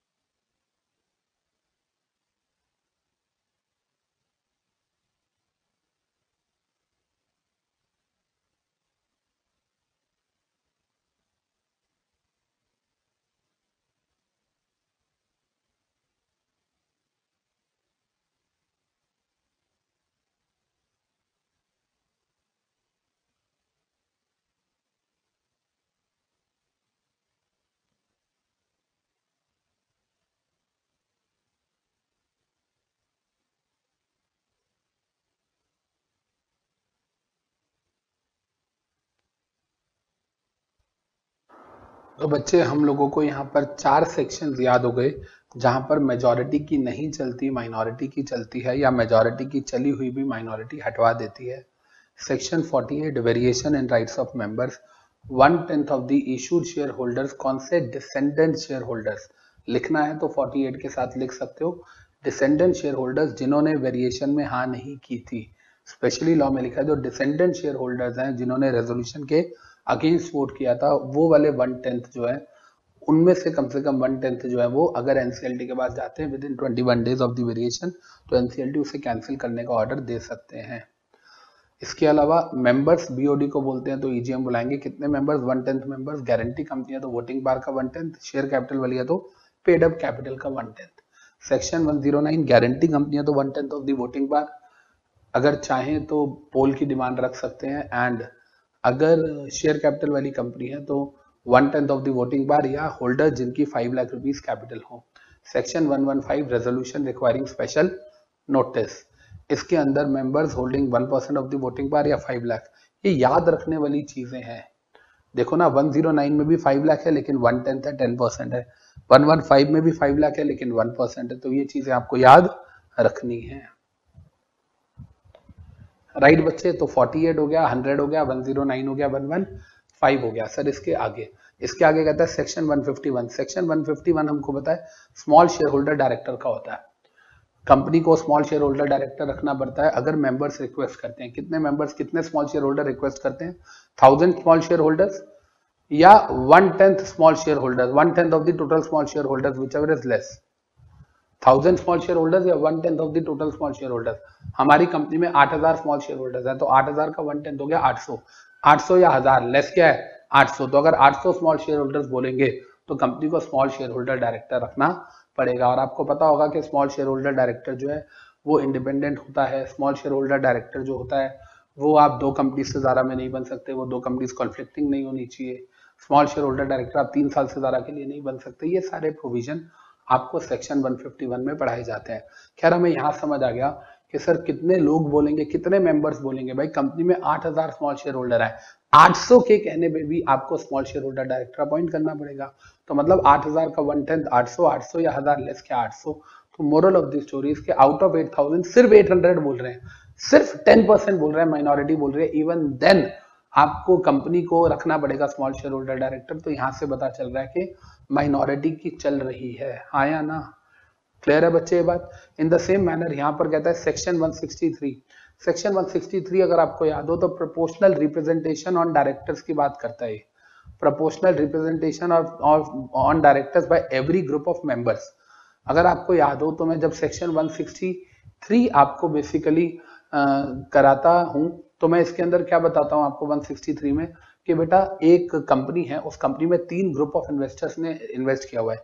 एक ग्रुप ने 50 परसेंट इन्वेस्ट किया एक ने 40 परसेंट एक ने 10 परसेंट 50, 40, 10 ये तीन अलग अलग ग्रुप्स ने इन्वेस्ट किया हुआ है। तो जिस ग्रुप ने जितना इन्वेस्ट किया हुआ है उस ग्रुप को उतने डायरेक्टर्स अपॉइंट करने का राइट है। तो अगर बोर्ड में टोटल 10 डायरेक्टर है मान लो तो जिस ग्रुप ने 50 परसेंट अपॉइंट पैसा लगाया वो पाँच डायरेक्टर अपॉइंट करेगा। जिसने 40 परसेंट लगाया, वो चार डायरेक्टर अपॉइंट करेंगे। जिसने 10 परसेंट लगाया, वो ग्रुप एक डायरेक्टर अपॉइंट करेगा। तो क्या जिसने 10 परसेंट लगाया है, क्या उसको भी एक डायरेक्टर अपॉइंट करने का राइट है? यस 10 परसेंट वाला ग्रुप जो है वो माइनॉरिटी है। लेकिन फिर भी उनको अपना भी एक डायरेक्टर बिठाने का राइट है। और जब हम बात करते हैं तो इस सेक्शन की खास बात क्या है कि जो डायरेक्टर्स को रिमूवल करने की बात होती है, इन डायरेक्टर्स को रिमूव भी नहीं किया जा सकता। ये डायरेक्टर्स जनरल मीटिंग में रिमूव नहीं हो सकते हैं। नहीं तो फिर माइनॉरिटी के डायरेक्टर अपॉइंट करने का फ़ायदा क्या हुआ? टेन परसेंट वालों का, जब बाकी फिफ्टी और फोर्टी वाले मिलकर उसको रिमूव कर देंगे तो इसे रिमूव भी नहीं किया जा सकता। और यही एक सेक्शन इस चीज़ के लिए भी रिस्पॉन्सिबल है कि जब फेसबुक ने रिलायंस जियो में इन्वेस्टमेंट की फेसबुक ने जब रिलायंस जियो के अंदर इन्वेस्टमेंट की तो वो लेस देन टेन परसेंट रखी गई nine point nine eight percent क्यों? टेन परसेंट क्यों नहीं दी गई? सिर्फ़ इसलिए नहीं दी गई, अगर टेन परसेंट देंगे तो उसको वन टेंथ डायरेक्टर अपॉइंट करने का राइट मिल जाएगा। इस वजह से लेस देन टेन रखा, ताकि उसे एक डायरेक्टर अपॉइंट करने का भी राइट ना मिल सके। लॉजिक समझ आया कि क्यों फेसबुक की इन्वेस्टमेंट कम रखी गई थी रिलायंस जियो के अंदर। क्लियर है बेटा ये बात? डन इसके अलावा कहता है, सर सेक्शन 230 सेक्शन 230 बात करता है कॉम्प्रोमाइज एंड अरेंजमेंट की। हम सबको याद है, जब प्योरली कॉम्प्रोमाइज एंड अरेंजमेंट होता है तो सेक्शन 230 के अंदर फॉल करता है। जबकि जब मर्जर अमल कमीशन होता है तो section 232 read with read with 230 होता है, ये बात हमें है। अब मेरी बात को ध्यान से सुनेगा very very very important sir, जब कंपनी जो है, वो कॉम्प्रोमाइज अरेंजमेंट करना चाहती है अपने मेंबर्स या क्रेडिटर्स के साथ तो वो एनसीएलटी के पास जाती है। एनसीएलटी कहती है, चलो जी, आप मीटिंग करो मेंबर्स और क्रेडिटर्स की। वहाँ पर मैं आपको पढ़ाता हूँ सेक्शन 230 क्लॉज सिक्स के अंदर सब सेक्शन सिक्स के अंदर। सेक्शन 230 सब सेक्शन सिक्स में बोला हुआ है कि मेंबर्स और क्रेडिटर्स जिसके साथ भी आप कॉम्प्रोमाइज अरेंजमेंट कर रहे हो, आपको उनका अप्रूवल लेना पड़ता है। कितना अप्रूवल लेना पड़ता है? Majority in number plus three fourth in value मतलब जो लोग रेजोल्यूशन पास कर रहे हैं मेंबर्स आए हैं सौ। उन सौ मेंबर्स की वैल्यू है पचास लाख। तो वो जो सौ मेंबर्स आए हैं, उसमें से कम से कम फिफ्टी वन हाँ बोले मेजोरिटी नंबर प्लस उन फिफ्टी वन की वैल्यू जो है वो पचास लाख का सेवन पचास लाख का थ्री फोर्थ मतलब सेवेंटी फाइव परसेंट होनी चाहिए। इसका मतलब क्या हुआ कि सैंतीस point thirty seven point five lakh होनी चाहिए। इसके न्यूमेरिकल भी बकायदा मैं इस चैप्टर में करके दिखाता हूँ। कहानी समझ आ रही है? हम लोग क्या पढ़ते हैं इसके अंदर? कि जितने मेंबर्स आए हैं, अभी थोड़ा इजी करके बता देता हूँ। मान लो हंड्रेड मेंबर आए हैं मीटिंग में, उन हंड्रेड मेंबर की वैल्यू है चालीस लाख। तो अब हमें क्या करना है? हमें रेजोल्यूशन पास करना है तो we have to make ensure कि इन नंबर आधे से ज़्यादा हाँ बोल रहे हो और उन, वो जो हाँ बोल रहे हैं, उनकी इन वैल्यू थ्री फोर्थ होना चाहिए कम से कम। तो मतलब अगर 51 100 में से 51 मेंबर हाँ बोल रहे हैं 51 मेंबर हाँ बोल रहे हैं और उनकी वैल्यू 51 की कम से कम 40 में से थ्री फोर्थ तीस लाख होनी चाहिए। क्लियर है? सर मेरी अकेले की, ध्यान से सुनिएगा, मेरी अकेले की बत्तीस लाख है 32 लाख है उसमें से, कुछ नहीं हो सकता। क्योंकि मैं, मेरी अकेले की है 32 लाख मेरी अकेले की है। इसका मतलब ये हुआ कि अगर मैं अकेला बोलूँगा, अगर मैं अकेला बोलूँगा तो इन वैल्यू पूरा हो रहा हूँ। लेकिन इन नंबर पूरा नहीं हो रहा। मेरे अलावा बाकी 99 हाँ बोलते हैं, इन नंबर पूरे हो रहे हैं, इन वैल्यू पूरे नहीं हो रहे। तो कहने का मतलब क्या हुआ कि अगर आप जब भी रेजोल्यूशन पास करते हो तो आपको मेजोरिटी का अप्रूवल चाहिए होता है, in number plus three fourth in value लेकिन हमारा ये वो टॉपिक नहीं है। ये 230 सबसेक्शन सिक्स की बात है, मैं तो आगे चल रहा हूँ। जब आप आगे चलते हो, जब आप फाइनली ये अप्रूवल ले लेते हो एनसीएलटी के पास रिपोर्ट जाती है, अब एनसीएलटी के पास फाइनल हियरिंग वाला दिन है।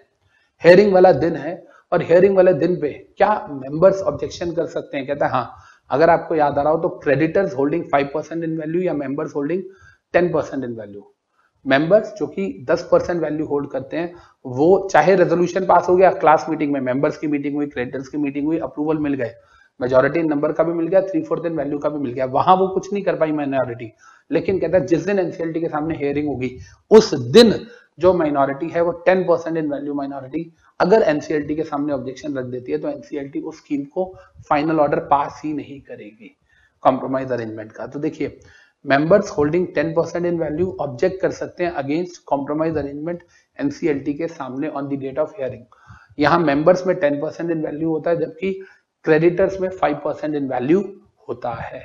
राइट जी? इसके अलावा कहते हैं, सर सेक्शन 244 सेक्शन 244 कौन सा होता है?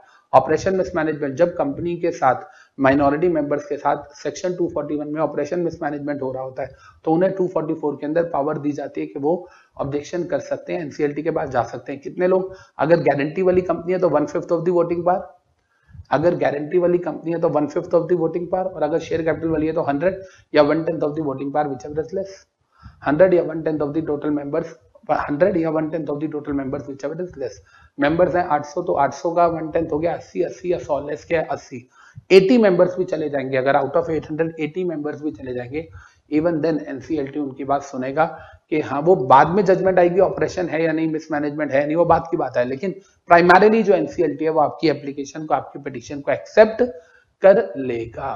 राइट बच्चे? क्लियर है जी सबको? हाँ सर तो ये बात भी हमको समझ आ गई। तो moral of the story is 48 plus 100 plus 109 plus 115 plus 151 plus 163 plus 230 plus 244 मैं ये नहीं कह रहा कि ये लिस्ट एग्जॉस्टिव है।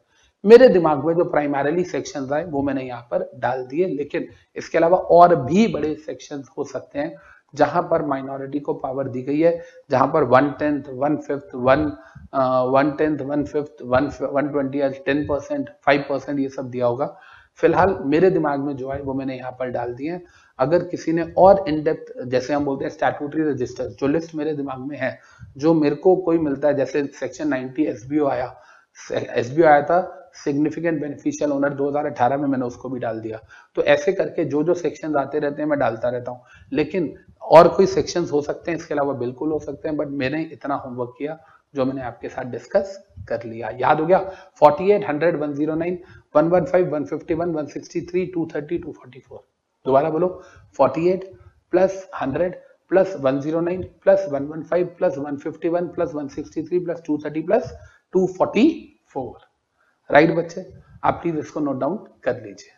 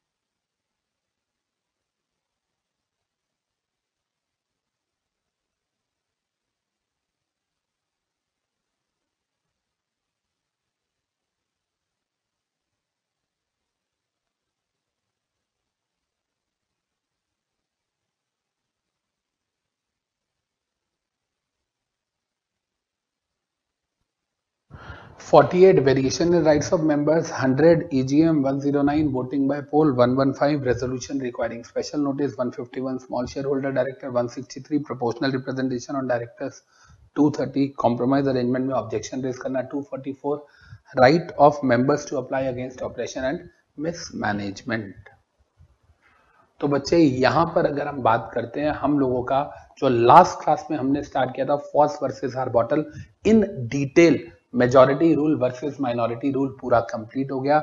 आई होप आप लोगों को बहुत अच्छे तरीके से समझ आ गया होगा। इसके अंदर हम लोगों ने फैक्ट्स पढ़े, इसके अंदर हमने कॉज ऑफ़ एक्शन पढ़ा, इसके अंदर हमने दोनों पार्टीज़ के आर्ग्यूमेंट्स पढ़े। हमने जज साहब की वो पाँच स्टेटमेंट्स पढ़ी, पहले तीन स्टेटमेंट्स दी, फिर अगले दिन दो स्टेटमेंट्स दी अगले हेयरिंग में।